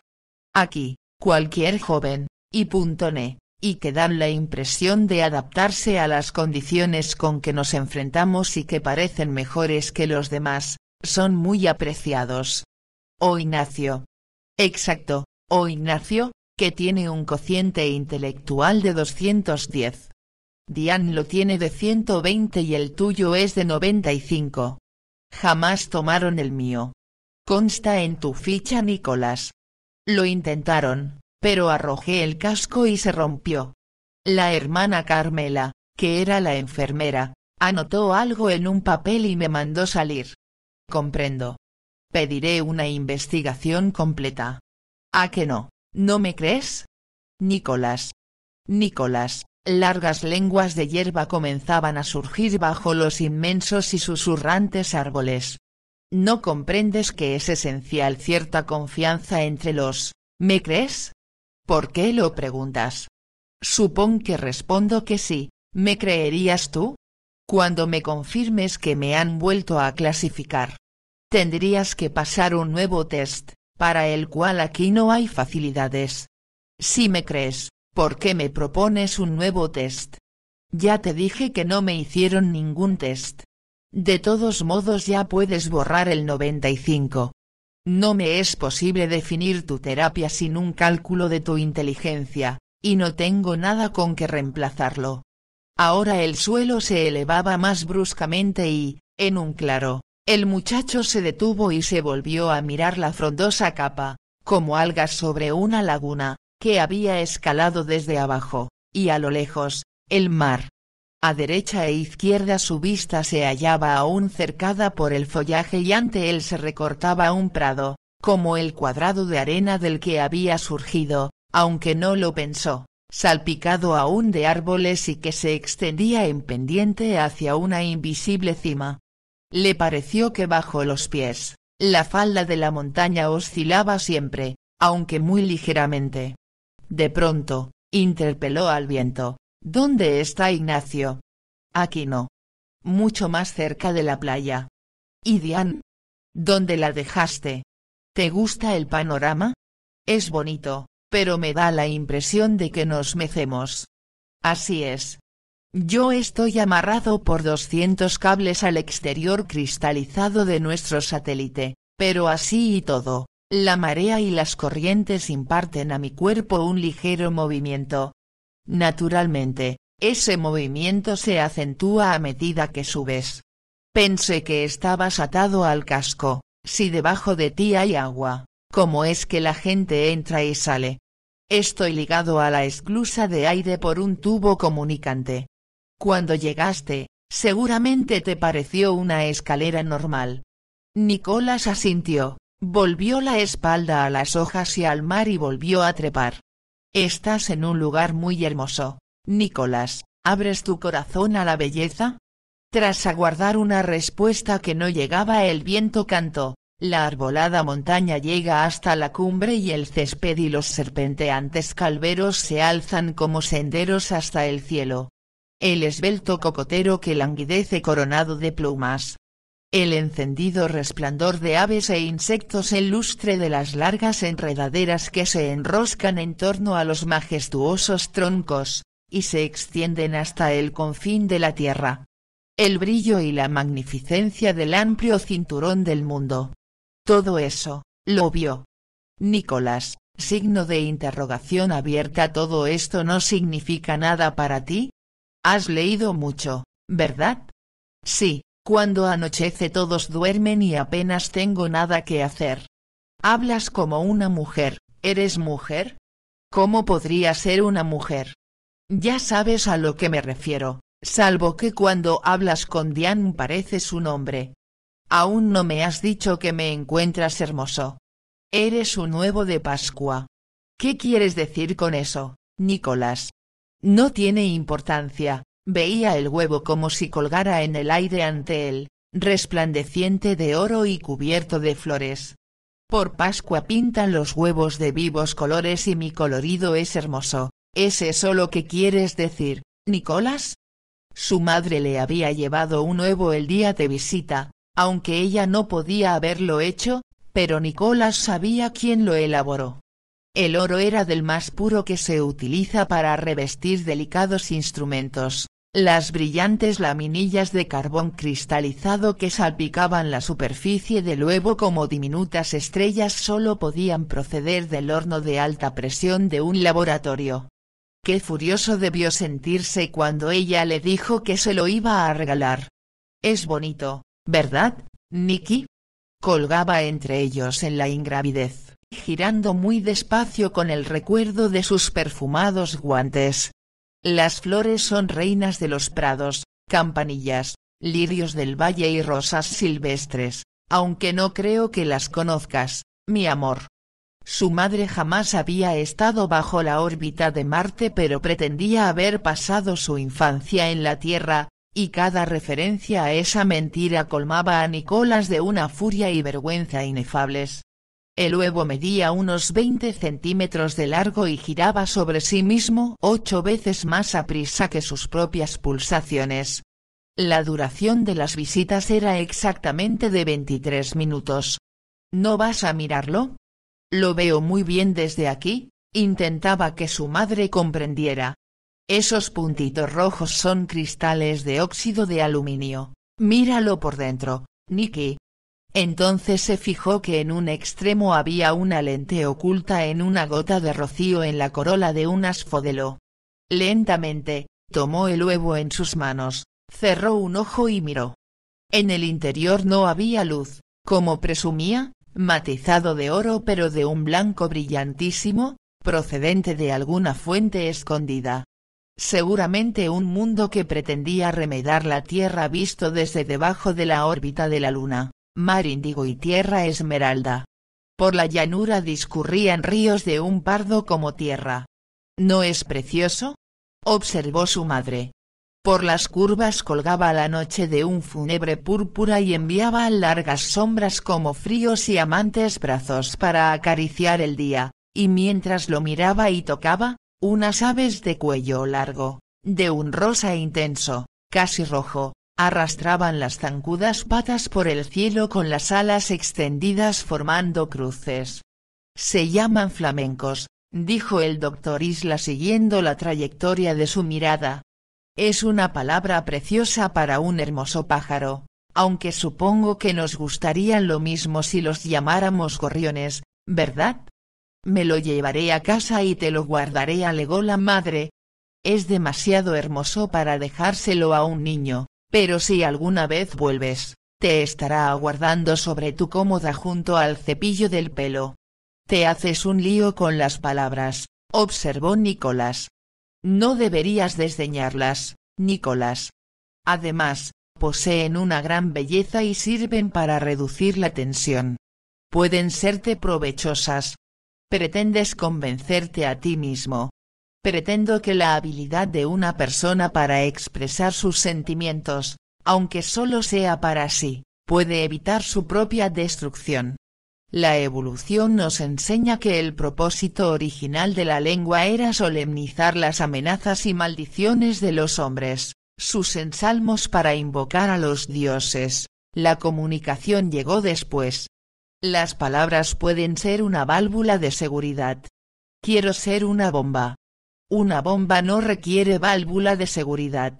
Y dirigiéndose a su madre, ¿eso es Sudamérica mamá? No, mi amor, es India. A tu izquierda la costa Malabar y a tu derecha la costa Coromandel, debajo, Ceilán, palabras. Una bomba se destruye sola, Nicolás. Una bomba no tiene importancia, a la bomba no le importa. Trepaba resueltamente, agarrándose con los dedos de los pies a las raíces de los árboles y al suave y musgoso suelo, su médico ya no era el viento sino un mono pardo que lo seguía a tiro de piedra. Oigo que alguien se acerca. Sí. ¿Es Ignacio? No, es Nicolás. Ahora está cerca. ¿Cerca del punto? Sí. Se paró para mirar a su alrededor. Los ruidos que oyera, las pisadas de pies descalzos hollando el blando suelo también se detuvieron. Nada parecía extraño, la tierra seguía ascendiendo, y en las sombras más densas, grandes árboles muy espaciados sobre el musgo, hierba donde no había luz. Los tres grandes árboles son iguales, exclamó Nicolás. ¿Es ahí donde sabías que estábamos? Exacto. En su pensamiento llamó al que estaba delante de el Celán, y a los otros dos Coromandel, y Malabar, se dirigió hacia Celán escudriñando sus fuertes y retorcidas ramas. Un muchacho tan desnudo como él surgió de la selva, a su izquierda hacia Malabar, y no miró a Nicolás, que gritó y corrió tras él. El muchacho desapareció. Solamente Malabar, sólido y real se aliaba ante Nicolás, corrió hasta él, palpó la áspera corteza y divisó un poco más lejos un cuarto árbol similar a Celán, y al lado, un chico que atisbaba con la cabeza desviada. Nicolás lo observó unos segundos y dijo, comprendo. ¿De veras? Parloteó el mono. Es como un espejo solo que al revés. La luz que sale frente a mí se refleja en el borde, y penetra por el otro lado, solo que yo no lo veo porque no miro a esa parte. Lo que veo es la luz que surge por mi espalda más o menos porque vuelve hacia aquí. Al correr, di la vuelta alrededor. Sí, saliste corriendo del lado izquierdo del segmento y por supuesto, regresaste inmediatamente desde la derecha. No me asusta, es divertido. Punto agarró un palo y lo arrojó con fuerza al árbol malabar. Este se desvaneció, pasó silbando sobre su cabeza, Volvió a desaparecer y lo golpeó por detrás de las piernas, ¿le asustó esto a Diane? No obtuvo respuesta. Se alejó a grandes pasos, unos chicos desnudos caminaban a su derecha y a su izquierda, pero parecían estar siempre lejos de él y se le iban acercando poco a poco. No sigas le ordenó a su espalda el doctor Isla. Puede ser peligroso si intentas atravesar el punto. Lo veo, contestó Nicolás. Divisó otros tres árboles que se alzaban muy juntos, precisamente ante él, las ramas, extrañamente enlazadas al danzar impulsadas por el viento, y por detrás no había absolutamente nada. En realidad, no puedes cruzar el punto, dijo el doctor Islamono. El árbol lo cubre. En tal caso, ¿por qué me avisas? cojeando y mercados con cicatrices. Los chicos de su izquierda y los de su derecha ya solo se encontraban a dos metros de él. Había descubierto que si miraban en línea recta conseguía a veces vislumbrar sus contusos perfiles. No te alejes más, Nicolás. Quiero tocar el árbol. Dio un paso, y otro más y se volvió. El chico malabar lo imitó mostrando su delgada espalda en que las costillas y la columna vertebral parecían haber sido zurradas. Nicolás alargó ambas manos sobre los delgados hombros y al momento sintió otras manos, manos frías, insensibles de un desconocido, manos secas y muy pequeñas que tocaban sus hombros y le subían hacia el cuello. Nicolás. De un salto se apartó del árbol y se miró las manos, oscilando la cabeza. No era yo. Sí, eras tú, Nicolás dijo el mono. Fue uno de ellos. Tú eres todos ellos. Con un rápido movimiento agarró un leño largo como un brazo era una rama caída y lo lanzó contra el mono. El golpe derribó al animal, pero éste se levantó de un brinco y huyó sobre tres patas. Nicolás corrió tras él. Casi lo había alcanzado cuando el animal se desvió precipitadamente, con la misma rapidez saltó sobre el mono que venía corriendo hacia él. En un instante lo tuvo agarrado, el mono se debatía tratando inútilmente de morderle. Le golpeó la cabeza contra el suelo, luego lo agarró por los tobillos y lo zarandeó contra el árbol celán, hasta que al tercer impacto oyó que el cráneo crujía y se detuvo. Esperaba encontrar alambres pero no halló ninguno. La sangre rezumaba de la magullada carita, y el peludo cuerpo yacía en sus manos caliente y flácido. Sobre su cabeza las hojas anunciaron, Nicolás, no me has matado, nunca lo conseguirás. ¿Cómo funciona? Todavía buscaba alambres, pequeños circuitos impresos que contuvieran micrológica. Buscó una piedra puntiaguda para abrir el cuerpo del mono pero no encontró ninguna. No es más que un mono dijeron las hojas. Si lo hubieras preguntado te lo habría dicho, ¿Cómo lo hacías hablar? Dejó caer el mono, lo contempló un momento y lo apartó de un puntapié. Se secó los dedos manchados de sangre en las hojas de los árboles. Nicolás, solo mi mente habla a la tuya. Tras una exclamación, el muchacho decidió, ya lo he oído, pero no pensé que fuera así, sino en mi cabeza. Tu ficha no indica alucinaciones auditivas, pero, ¿Nunca supiste de alguien que las tuviera? Una vez conocí a una chica. Y confundía los ruidos, ¿comprendes? ¿Qué más? Por ejemplo, si corría por el pasillo el carrito del servicio ella oía el ventilador y creía. ¿Qué? Ah, pues cosas distintas, que alguien la llamaba. Los oía. ¿Cómo? ¿Maya? Y se sentó. Vienen a por mí. ¿Maya? El doctor Isla le habló a través de las hojas, Nicolás, cuando te hablo parece que tu mente no recibe el mensaje que te transmite mi pensamiento. Me oyes en el suave rumor de la lluvia o en el alegre trino de los pájaros, pero si quisiera podría ampliar lo que digo hasta que cada idea o sugerencia se dirigieran a tu conciencia clavándose en ella. Entonces, harías todo cuanto yo deseo. No lo creo, contestó Nicolás. Si eres capaz de eso, ¿por qué no le sugieres a Diane que no sea catatónica?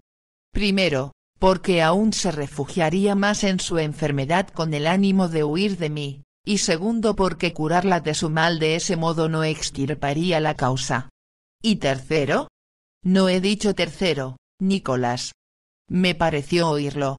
Cuando dos hojas se rozaron. Tercero, porque tanto tú como ella habéis sido elegidos para que produzcáis un efecto sobre alguien, si os cambiara tan bruscamente, ese efecto se perdería. El doctor Isla era otra vez un mono, aunque un mono distinto, que parloteaba desde la protección de un árbol a 20 metros. Nicolás le arrojó un palo. Los monos no son más que animales, Nicolás, les gusta imitar a las personas y parlotear. Apuesto a que Ignacio los mata. No, le gustan mucho, solo mata peces para comer. De pronto, Nicola se percató de que tenía hambre y echó a andar. Encontró a Ignacio rezando en la playa. Por espacio de una hora, o más, Nicolás permaneció escondido tras el tronco de una palmera pero tardó mucho en resolver a quién rezaba Ignacio.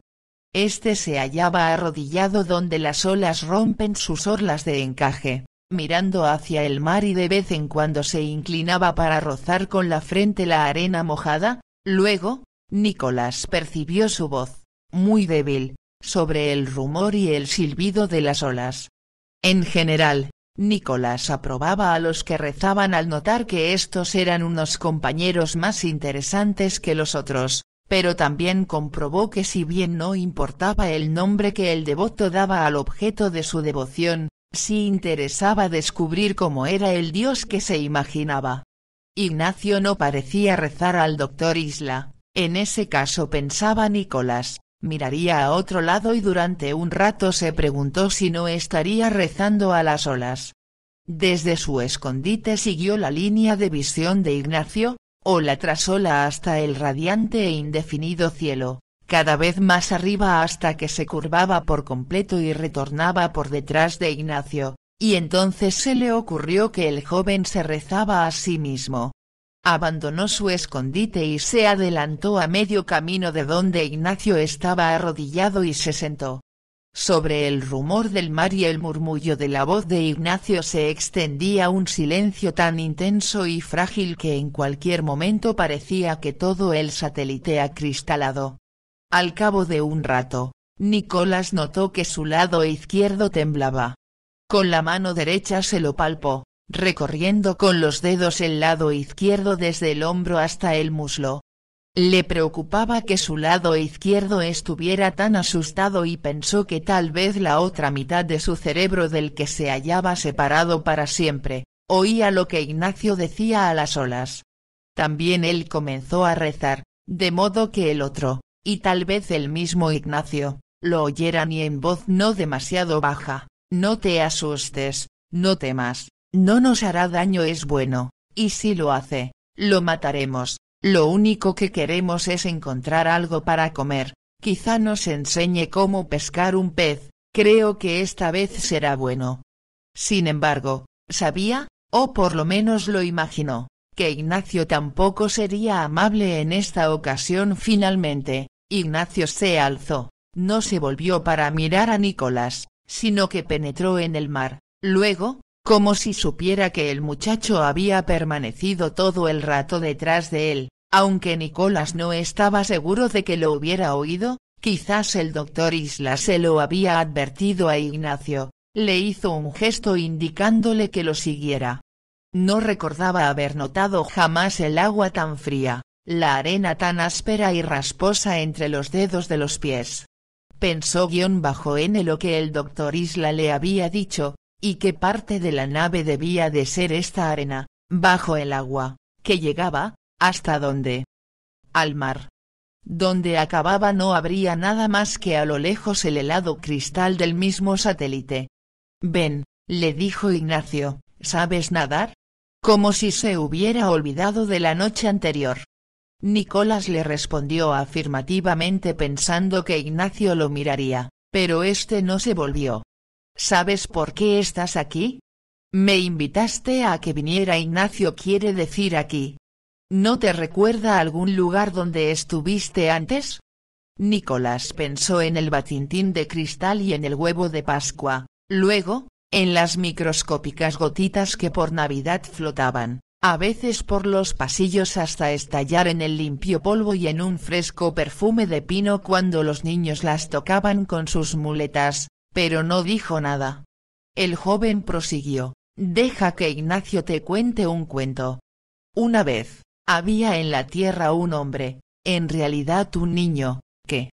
Nicolás pensó porque siempre eran hombres, por su experiencia casi siempre médicos y psicoanalistas los que querían contar historias.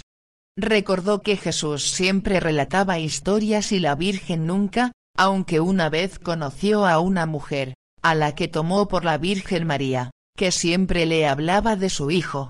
Pensó que Ignacio se parecía un poco a Jesús. Intentó recordar si su madre le contaba cuentos cuando vivía en su casa y decidió que no, se limitaba a pasar las transparencias de los dibujos animados. Punto quería. Punto contar un cuento, finalizó Nicolás. ¿Cómo lo sabes? Enfadado y sorprendido. Eras tú, ¿verdad? Y ahora querías contarme uno. Pero no lo que Ignacio hubiera dicho. Iba a hablarte de un pez. ¿Dónde está? Preguntó Nicolás pensando en el pescado que Ignacio se había comido la noche pasada e imaginándose otro igual, pescado mientras él llegaba, tal vez desde el punto, y ahora, escondido en algún lugar, en espera de ser asado. ¿Es un pescado grande? Ya no existe, pero era como la mano de un hombre. Lo pesqué en el gran río. Huckleberry. Ya sé, el Mississippi, era un siluro o una rueda o pezsol. Fin. Posiblemente era como tú lo llamas, durante un rato parecía que le daba el sol y a luz de algún lugar bailó sobre el mar. En cualquier caso, se encontraba sobre la mesa del comedor de la casa donde se vive la vida. Se hallaba dentro de un recipiente, pero no de los antiguos en que ves el vidrio con aros de metal en el borde, sino de los modernos, en los que el cristal es muy fuerte, aunque delgado, y curvado, de modo que no refleja, ni tiene curvas, solo un ingenioso mecanismo que mantiene el agua siempre limpia. Extrajo un puñado de agua, sin levantar los ojos hacia los de Nicolás. Tan clara como esta, y no había olas y no la veías, en absoluto. Mi pez flotaba en el centro de mi mesa, encima de unas cuantas piedras. ¿Flotabas en el río sobre una balsa? No en un pequeño bote. Ignacio pescó ese pez con una red, de la que casi destrozó las mallas antes de sacarlo a tierra poseía unos dientes magníficos, en la casa no había nadie más que él, el otro y los robots, pero cada mañana alguien iba al estanque del patio y pescaba un pez de colores para él. Cuando Ignacio bajaba para desayunar encontraba el pez de colores y pensaba, buen pez, has sido elegido para el monstruo, ¿quieres ser el que lo destruya? Si lo consigues, tendrás siempre su casa de diamante para ti. Entonces el pez, que tenía una manchita roja debajo de sus espléndidos dientes, una mancha como una cereza, se arrojaba sobre el pececito de colores y al instante el agua se teñía de sangre. ¿Y qué sucedía luego? El ingenioso mecanismo aclaraba de nuevo el agua y el pez flotaba como antes sobre las rocas, el pez de espléndidos dientes e Ignacio tocaba el pequeño interruptor de la mesa, y pedía más pan y más fruta. ¿Ahora tienes hambre? No, me siento fatigado y tengo pereza. Si te persigo no te alcanzaré y si te alcanzo a causa de tu torpeza y lentitud no te mataré, y si te mato, no te comeré. Nicolás había empezado a retroceder y cuando Ignacio pronunció las últimas palabras, dándose cuenta de que era una señal, dio la vuelta y echó a correr, chapoteando por las superficiales aguas, Ignacio lo perseguía con la ventaja de sus largas piernas, el cabello le flotaba por detrás de su moreno rostro, los fuertes dientes, blancos como huesos y grandes como las uñas de los pulgares de Nicolás parecían espectadores que se alineaban en las barandillas de sus labios. No corras, Nicolás gritó el doctor Isla con la voz de una ola. Si corres solo conseguirás acuciar su hambre. Nicolás no contestó pero dobló a su izquierda subiendo por la playa, entre los troncos de las palmeras, sin dejar de correr porque no tenía modo de saber si Ignacio se encontraba detrás de él para agarrarlo por el cuello. Cuando se detuvo, se encontró en la espesa jungla, entre los troncos de los viejos árboles, donde se apoyó, casi sin aliento, los latidos de su corazón eran el único ruido en aquella atmósfera silenciosa y dormida como un largo e inclemente día de la tierra. Estuvo atento durante un rato por si oía algún ruido que le indicase que Ignacio lo buscaba, pero no oyó nada, respiró a fondo y exclamó, bueno, se acabó, esperando a que el doctor Isla respondiera desde algún lugar, pero solo percibía el verde silencio. La luz era aún clara y fuerte y casi sin sombras, pero un sentimiento interior le avisaba que el día estaba a punto de declinar y observó que unas débiles, y largas sombras se extendían deformando los objetos de forma horizontal. No sentía hambre, pero había corrido mucho y comprendía hasta cuándo podría resistir, no se sentía tan fuerte como el día anterior y seguramente, al día siguiente sería incapaz de rebasar a Ignacio. Ahora se percataba de que debió comerse el mono que mató, pero ante la idea de comer carne cruda se le revolvía el estómago y no sabía cómo encender una hoguera, por más que la noche anterior Ignacio había comido el pescado crudo. Aunque consiguiera pescar un pez, éste le repugnaría tanto o más que la carne cruda del mono. Recordó su esfuerzo para abrir un coco, no lo había conseguido pero posiblemente se podía abrir. No estaba muy seguro de lo que contenía un coco, pero debía tener un interior comestible, porque en los libros se los comían. Decidió dar un amplio rodeo por la jungla hasta la playa, si bien muy lejos de Ignacio, pues muchas veces había visto coco sobre la arena debajo de los árboles.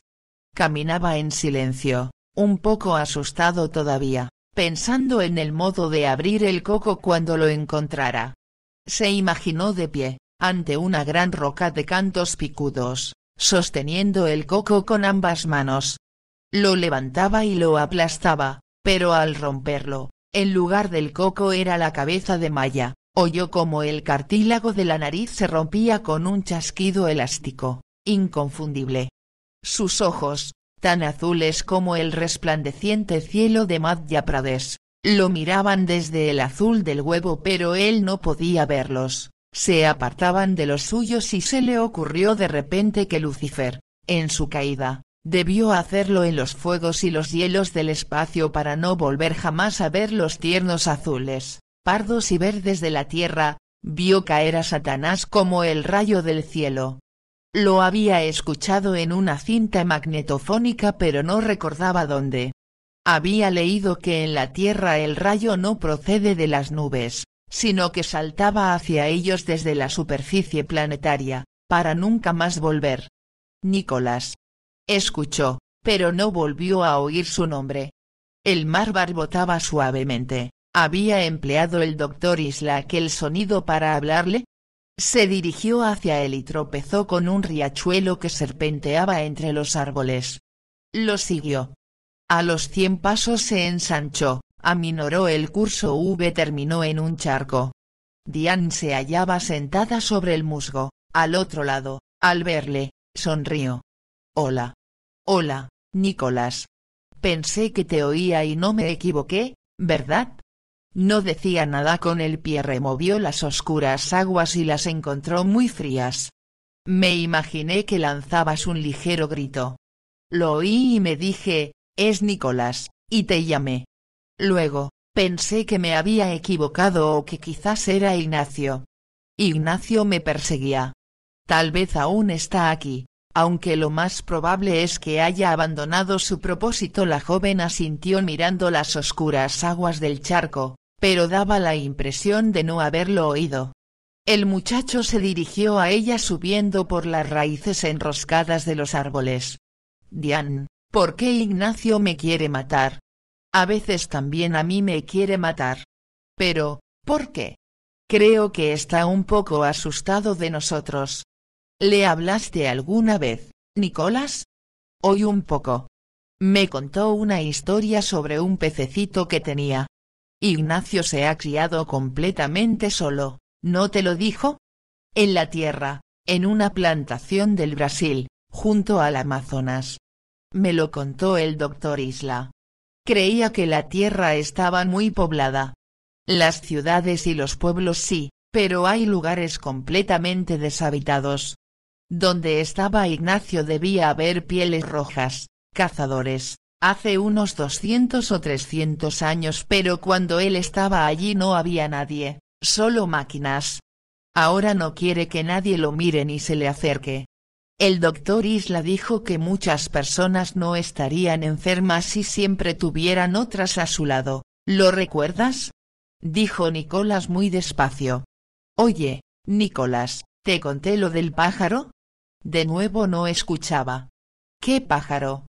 Tengo un pájaro dentro, se acarició el liso estómago por debajo de los pequeños pechos, y por un momento el muchacho pensó que había encontrado alimento. Se sienta aquí. Ha formado un nido en mis entrañas y con el pico me desgarra la respiración. Te parezco sana, ¿verdad?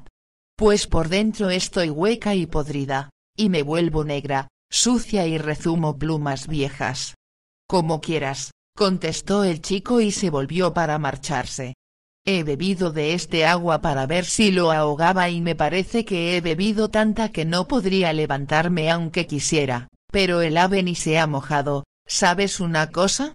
He descubierto que yo no soy yo, sino ella. ¿Cuándo comiste algo por última vez? Preguntó Nicolás volviéndose. No lo sé hace dos o tres días. Ignacio me dio algo.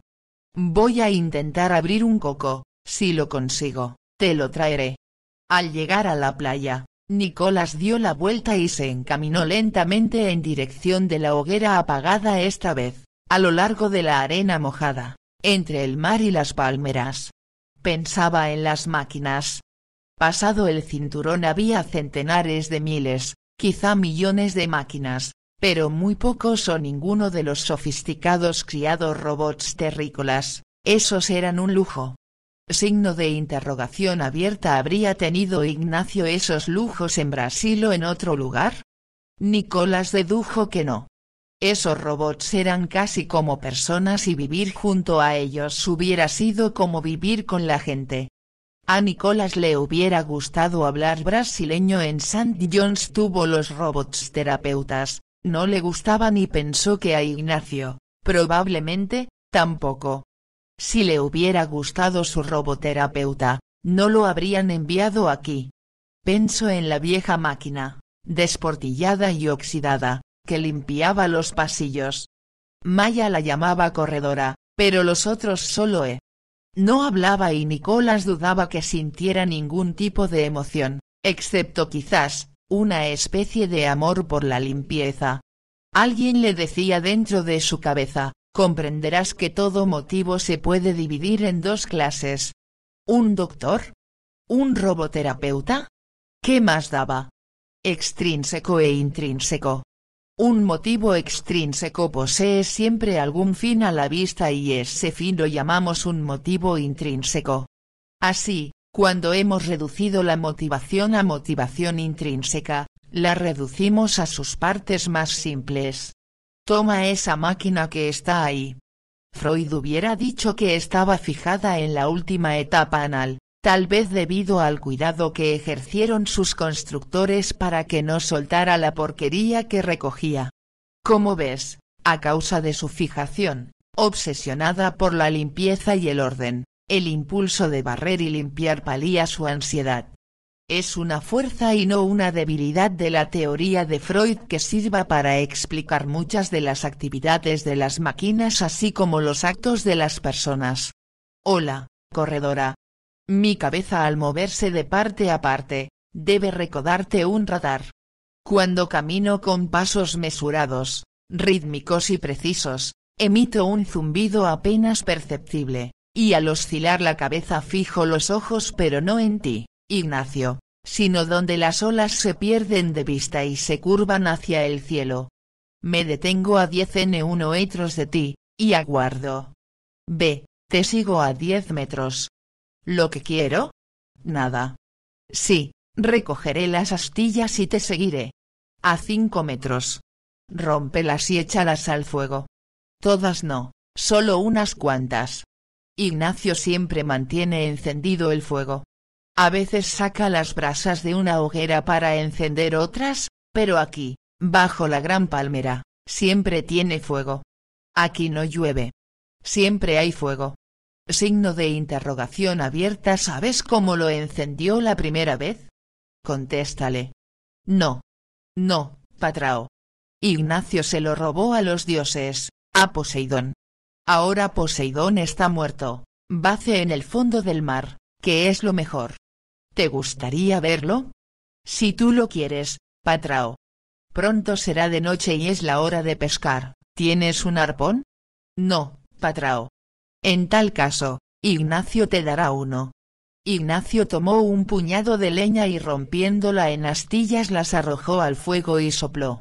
Tras unos momentos, Nicolás se inclinó y sopló a su vez hasta que las astillas ardieron. Ahora buscaremos un bambú, ahí detrás hay. Sígueme. La luz, todavía sin sombras, se iba debilitando de modo que a Nicolás le parecía que caminaban sobre un suelo hueco, aunque lo notaba bajo los pies. Ignacio iba delante con aire majestuoso sosteniendo las teas encendidas hasta que el fuego pareció extinguirse, entonces bajó los extremos dejando que las llamas lamieran su mano y ésta revivieron. Un suave viento soplaba hacia el mar llevándose el rumor de las olas y trayendo un frío húmedo y, cuando hubieron caminado varios minutos, Nicolás percibió en el viento un débil, seco y casi rítmico castañeteo. Ignacio se volvió a mirarle y exclamó, es música, los grandes tallos hablan, ¿los oyes? Encontraron una caña apenas más delgada que el puño de Nicolás. Amontonaron en su base las teas ardiendo y añadieron más. Al caer, Ignacio quemó también la parte superior construyendo un palo tan largo como alto era Nicolás y con una concha raspó el extremo hasta dejarlo puntiagudo. Ahora ya eres un pescador, le dijo a Nicolás. Sí, patrao, respondió el muchacho cuidando de no encontrarse aún con sus ojos. ¿Tienes hambre? Sí, patrao. En tal caso te diré algo, todo lo que tienes es de Ignacio, ¿comprendes? Y lo que pesques también es suyo, pero cuando haya terminado de comer lo que quede es para ti. Ahora vámonos, e Ignacio te enseñará a pescar o te ahogarás. El arpón de Ignacio estaba enterrado en la arena cerca de la hoguera, era mucho mayor que el que había confeccionado para Nicolás. Con él cruzado en su pecho descendió hasta el mar, vadeando hasta que el agua le llegó a la cintura y luego nadó sin mirar si Nicolás lo seguía.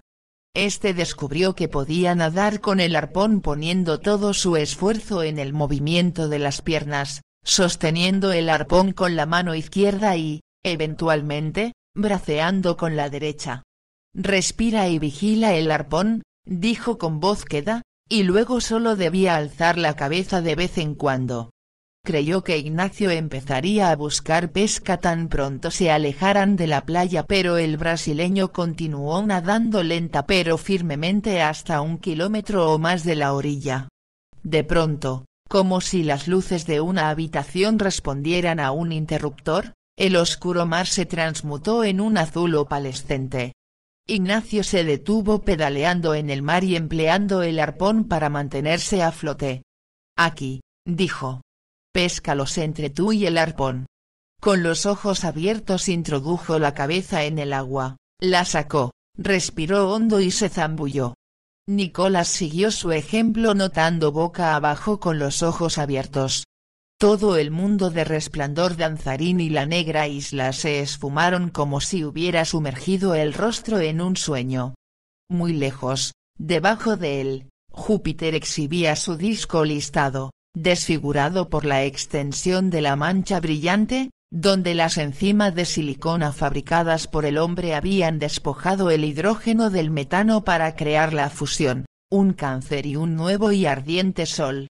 Entre ese sol y sus ojos se abrían, invisibles, cien mil kilómetros de espacio y la capa acristalada del satélite, centenares de metros de mar iluminado y en él, el cuerpo extendido de Ignacio, moreno a la luz, pedaleando aún hacia abajo, y en la mano el arpón como una negra pincelada.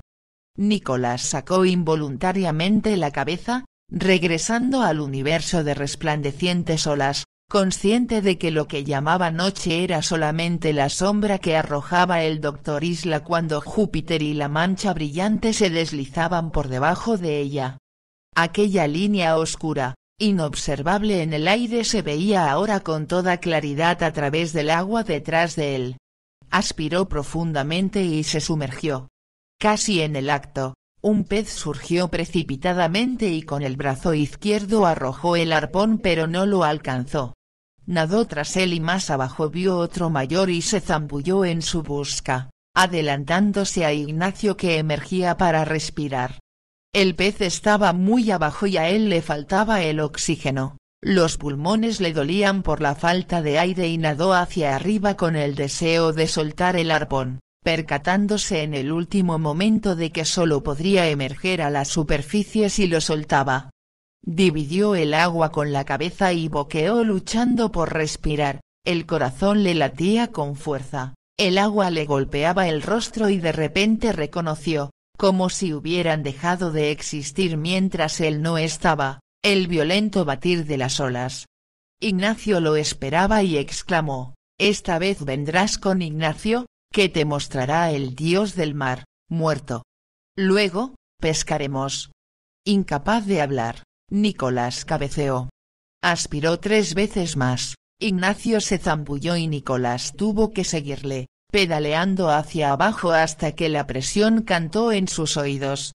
Por entre el mar azul asomaba al filo de la luz una enorme masa de metal anclada al casco cristalino del satélite, por encima, colgando inerte como el tallo de una gran parra cortada de raíz, un cable dos veces mayor que el cuerpo de un hombre y en el fondo echado junto a la inmensa áncora, un agresivo dios que podría parecer un insecto muerto si no fuera porque medía por lo menos seis metros. Ignacio se volvió para ver si Nicolás comprendía, el muchacho, aún sin saber nada, hizo un gesto afirmativo y con un impulso de los brazos emergió de nuevo. Después de cuatro o Ignacio trajera el primer pescado, se turnaron en la superficie para vigilar la presa y entre tanto la mancha brillante se deslizaba por debajo del borde en declive del doctor Isla. Arponearon dos veces más y en una consiguieron un pez muy grande. Luego, como Nicolás estaba tan agotado que apenas conseguía levantar los brazos regresaron a la orilla donde Ignacio enseñó al muchacho a destripar los peces con una espina y el canto de una concha y a envolverlos con fango y hojas para asarlos al fuego.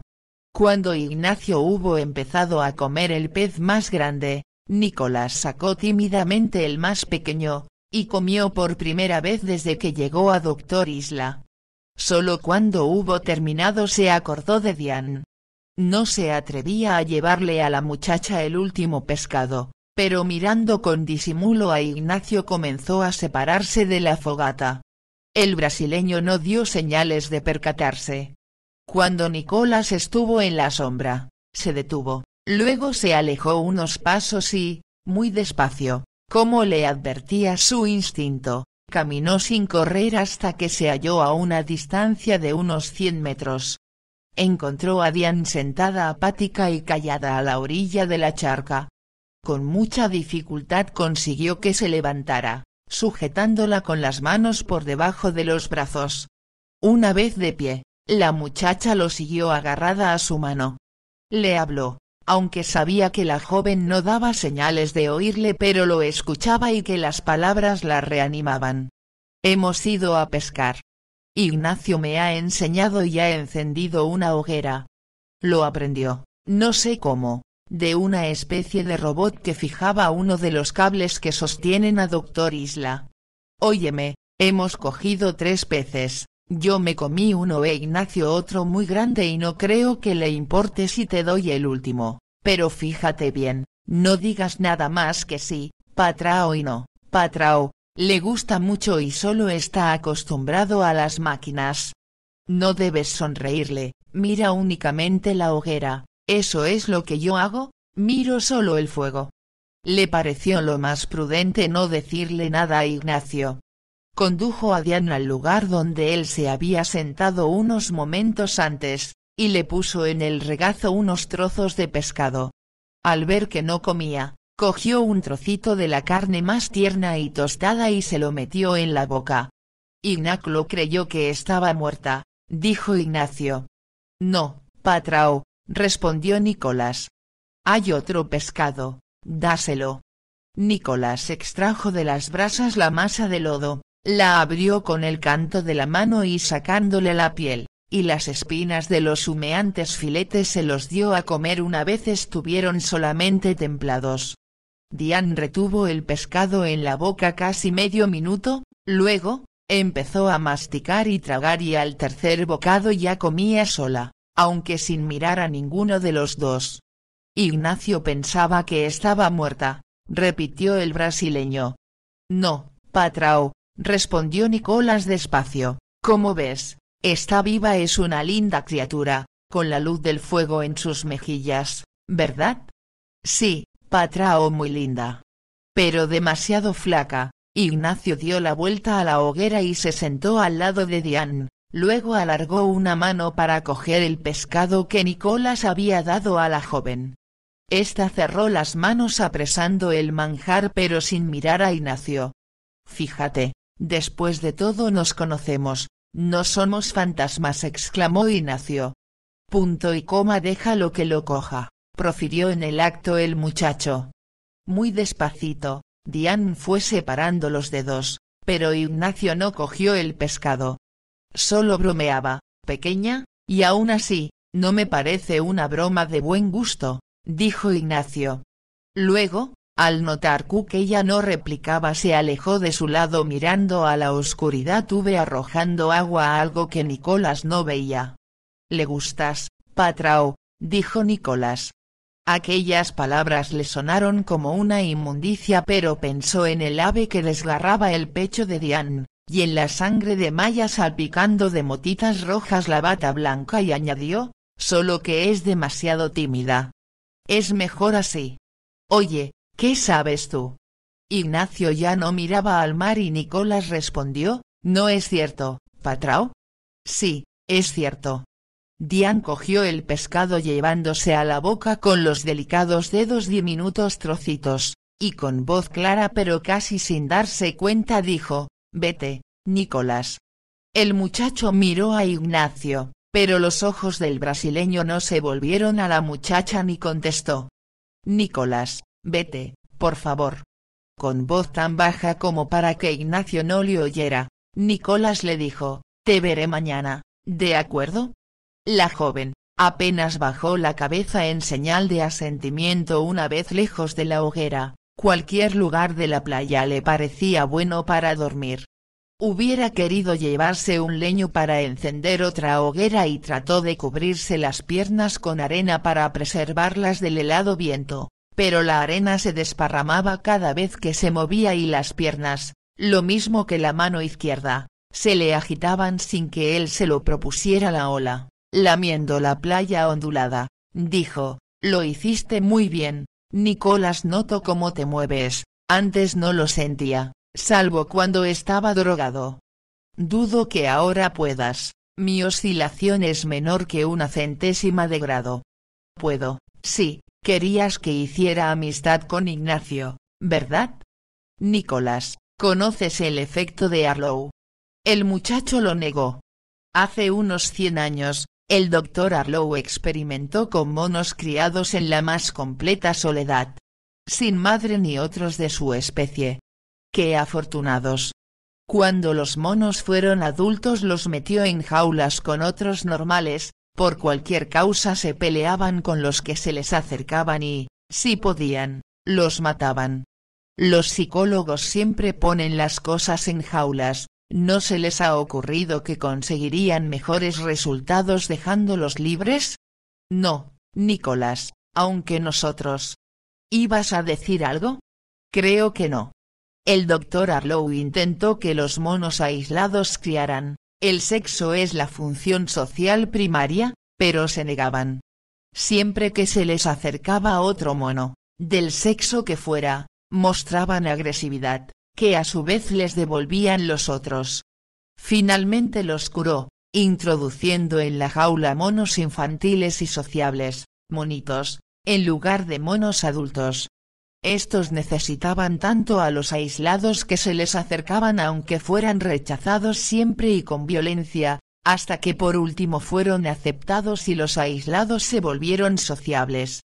Es interesante observar que el fundador del cristianismo tuvo una intuición de este principio, pero han transcurrido casi dos mil años antes de que se demostrase científicamente. No creo que aquí surtiera efecto. Fue mucho más complicado que todo esto. Nicolás, los seres humanos son monos complicados. Es la primera vez que te oigo contar un chiste. No te gusta ser humano, ¿verdad? Claro. ¿Y a ti? Creía que sí, pero ahora no estoy seguro. Lo dijiste para ayudarme, ¿no? Pues no me gusta. Una ola, mayor que las otras, salpicó de helada espuma las piernas de Nicolás y por un momento el muchacho se preguntó si no sería la respuesta del doctor Isla. Pasado medio minuto, otra ola lo mojó y luego otra, hasta que se apartó de la orilla para evitarlas. El viento arreciaba pero se durmió y solo le despertó un instante el resplandor de una luz que procedía de donde había venido él.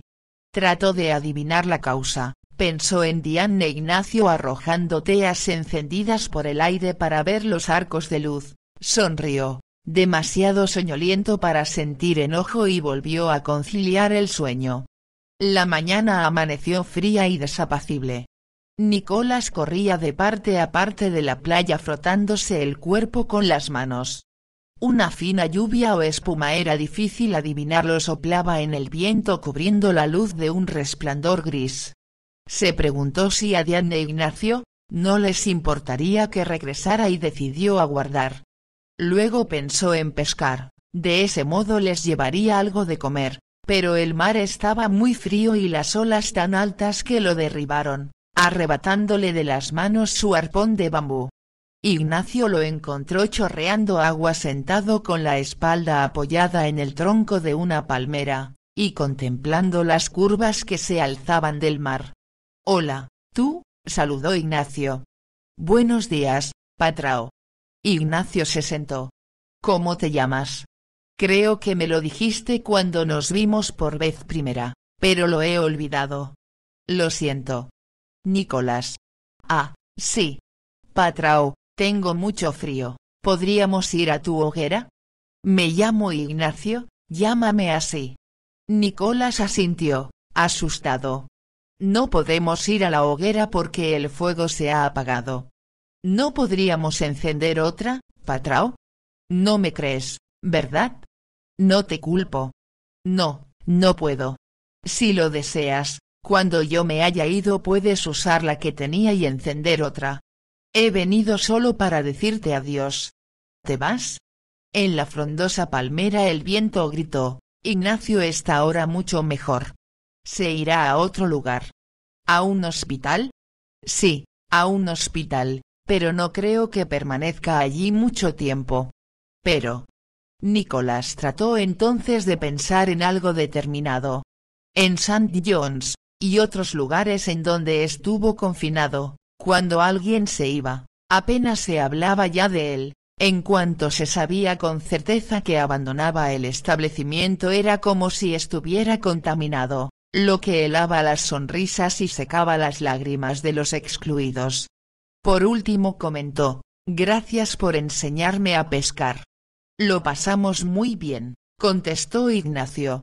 Se levantó, posó una mano sobre el hombro de, Nicolás y se alejó. A unos cuantos metros a su izquierda, la arena mojada comenzó a elevarse y agrietarse.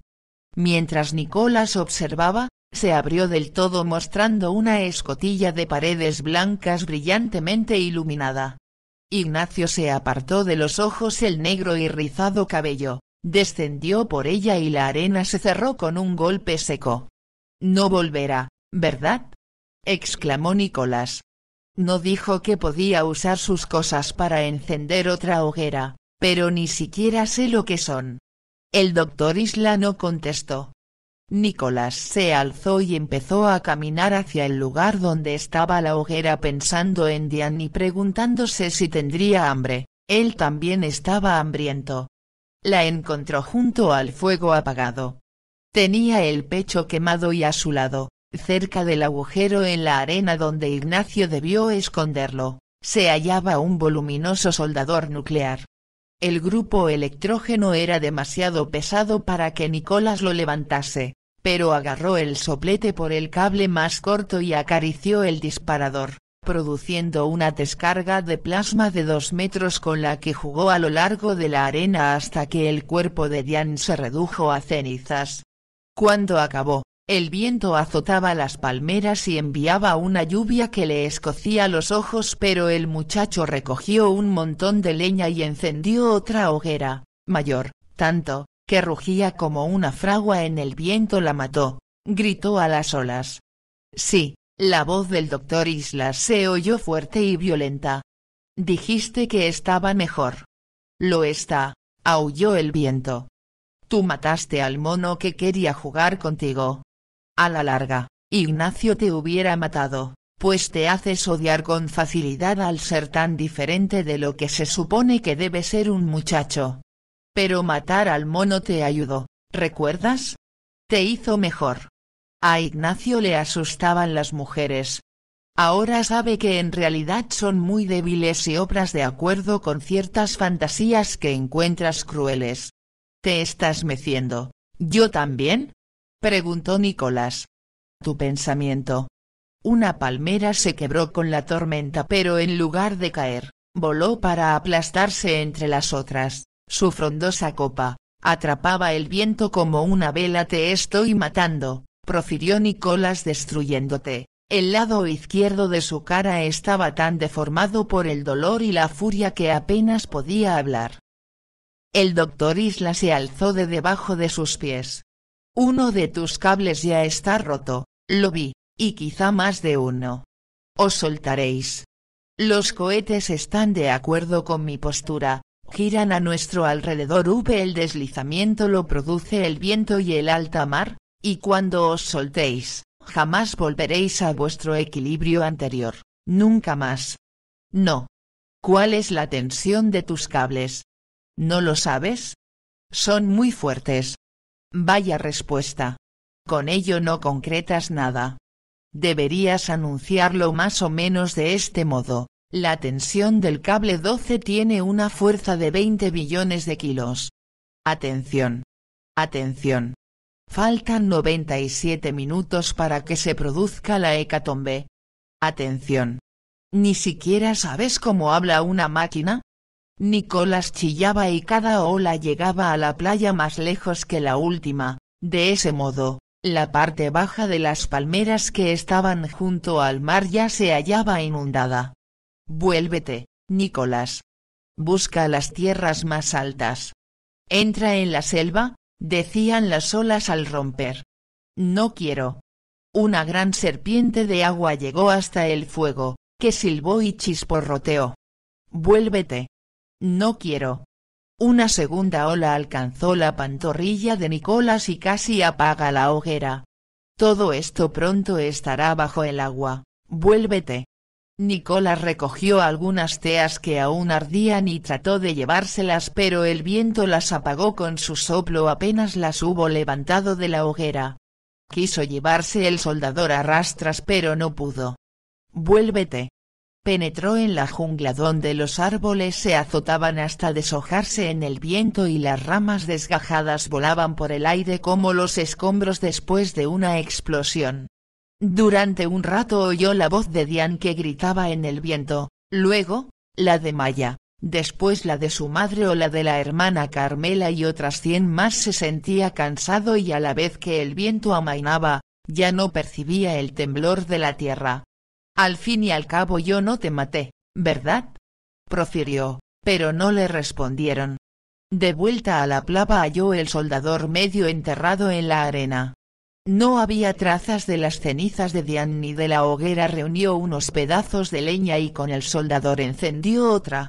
Ahora, escarbó en la arena que rodeaba el soldador hasta alcanzar la áspera roca de debajo v giró hacia ella la llama del soplete, Aquella se ennegrecía y burbujeaba.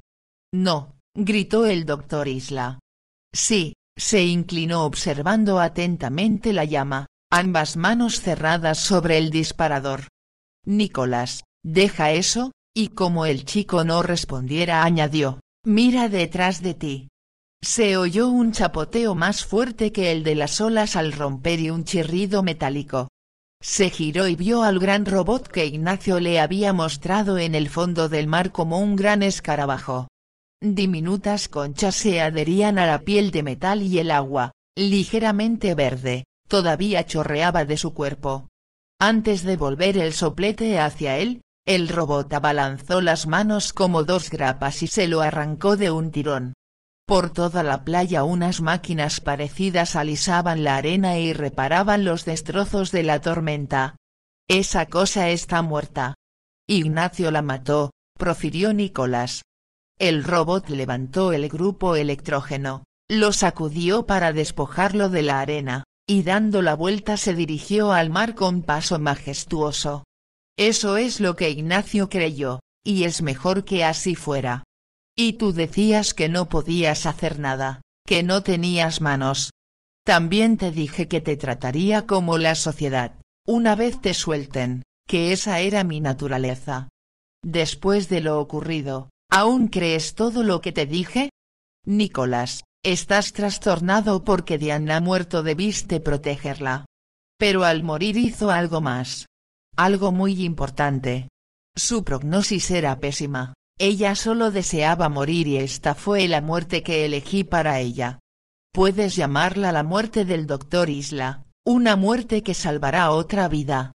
Ahora estás solo pero pronto, en este sector habrá más pacientes y tú también les ayudarás. Si puedes, y quizás ellos también te ayuden, ¿comprendes? No, gritó Nicolás.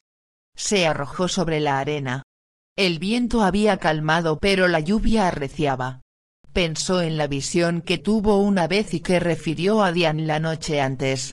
Esto no termina como yo creía, musitó, y como un lejano quejido que surgía del fondo de su garganta, jamás nada acaba bien. Las olas, el viento, el susurro de las frondosas palmeras y el tamborileo de la lluvia, los monos que habían descendido a la playa en busca de alimento que arrojaba el mar a la orilla contestaron, aléjate, vuelve atrás, no te muevas.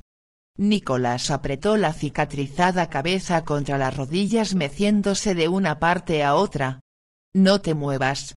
Durante largo rato siguió todavía sentado con la lluvia golpeándole la espalda y los chorreantes monos retozando y peleándose a su alrededor. Cuando al fin alzó la cara, se reflejaba en ella un elemento de personalidad que antes solo había estado en potencia y con ello un vacío y una expresión de sorpresa. Movió los labios y los sonidos que emitía eran los de un sordo mudo que intenta hablar. Nicolás se ha ido, proclamaban las olas. Nicolás el que fue el lado derecho de tu cuerpo, la parte izquierda de tu cerebro lo he forzado a la catatonia, el resto de tu vida él será para ti solo lo que ya fuiste para él, o menos, ¿comprendes? El muchacho asintió. Te llamaremos Kenneth, el silencioso, y si Nicolás intenta volver debes desecharlo. O regresar a lo que habías sido. El muchacho asintió por segunda vez y un momento después comenzó a recoger leña para la hoguera que se extinguía. Las olas cantaban como para sí. Esta noche el mar está violento. Sobre la isla Sado se extienden calladas nubes de estrellas. No hubo respuesta. Fin del libro, La muerte del doctor Isla, de Jim Wolf.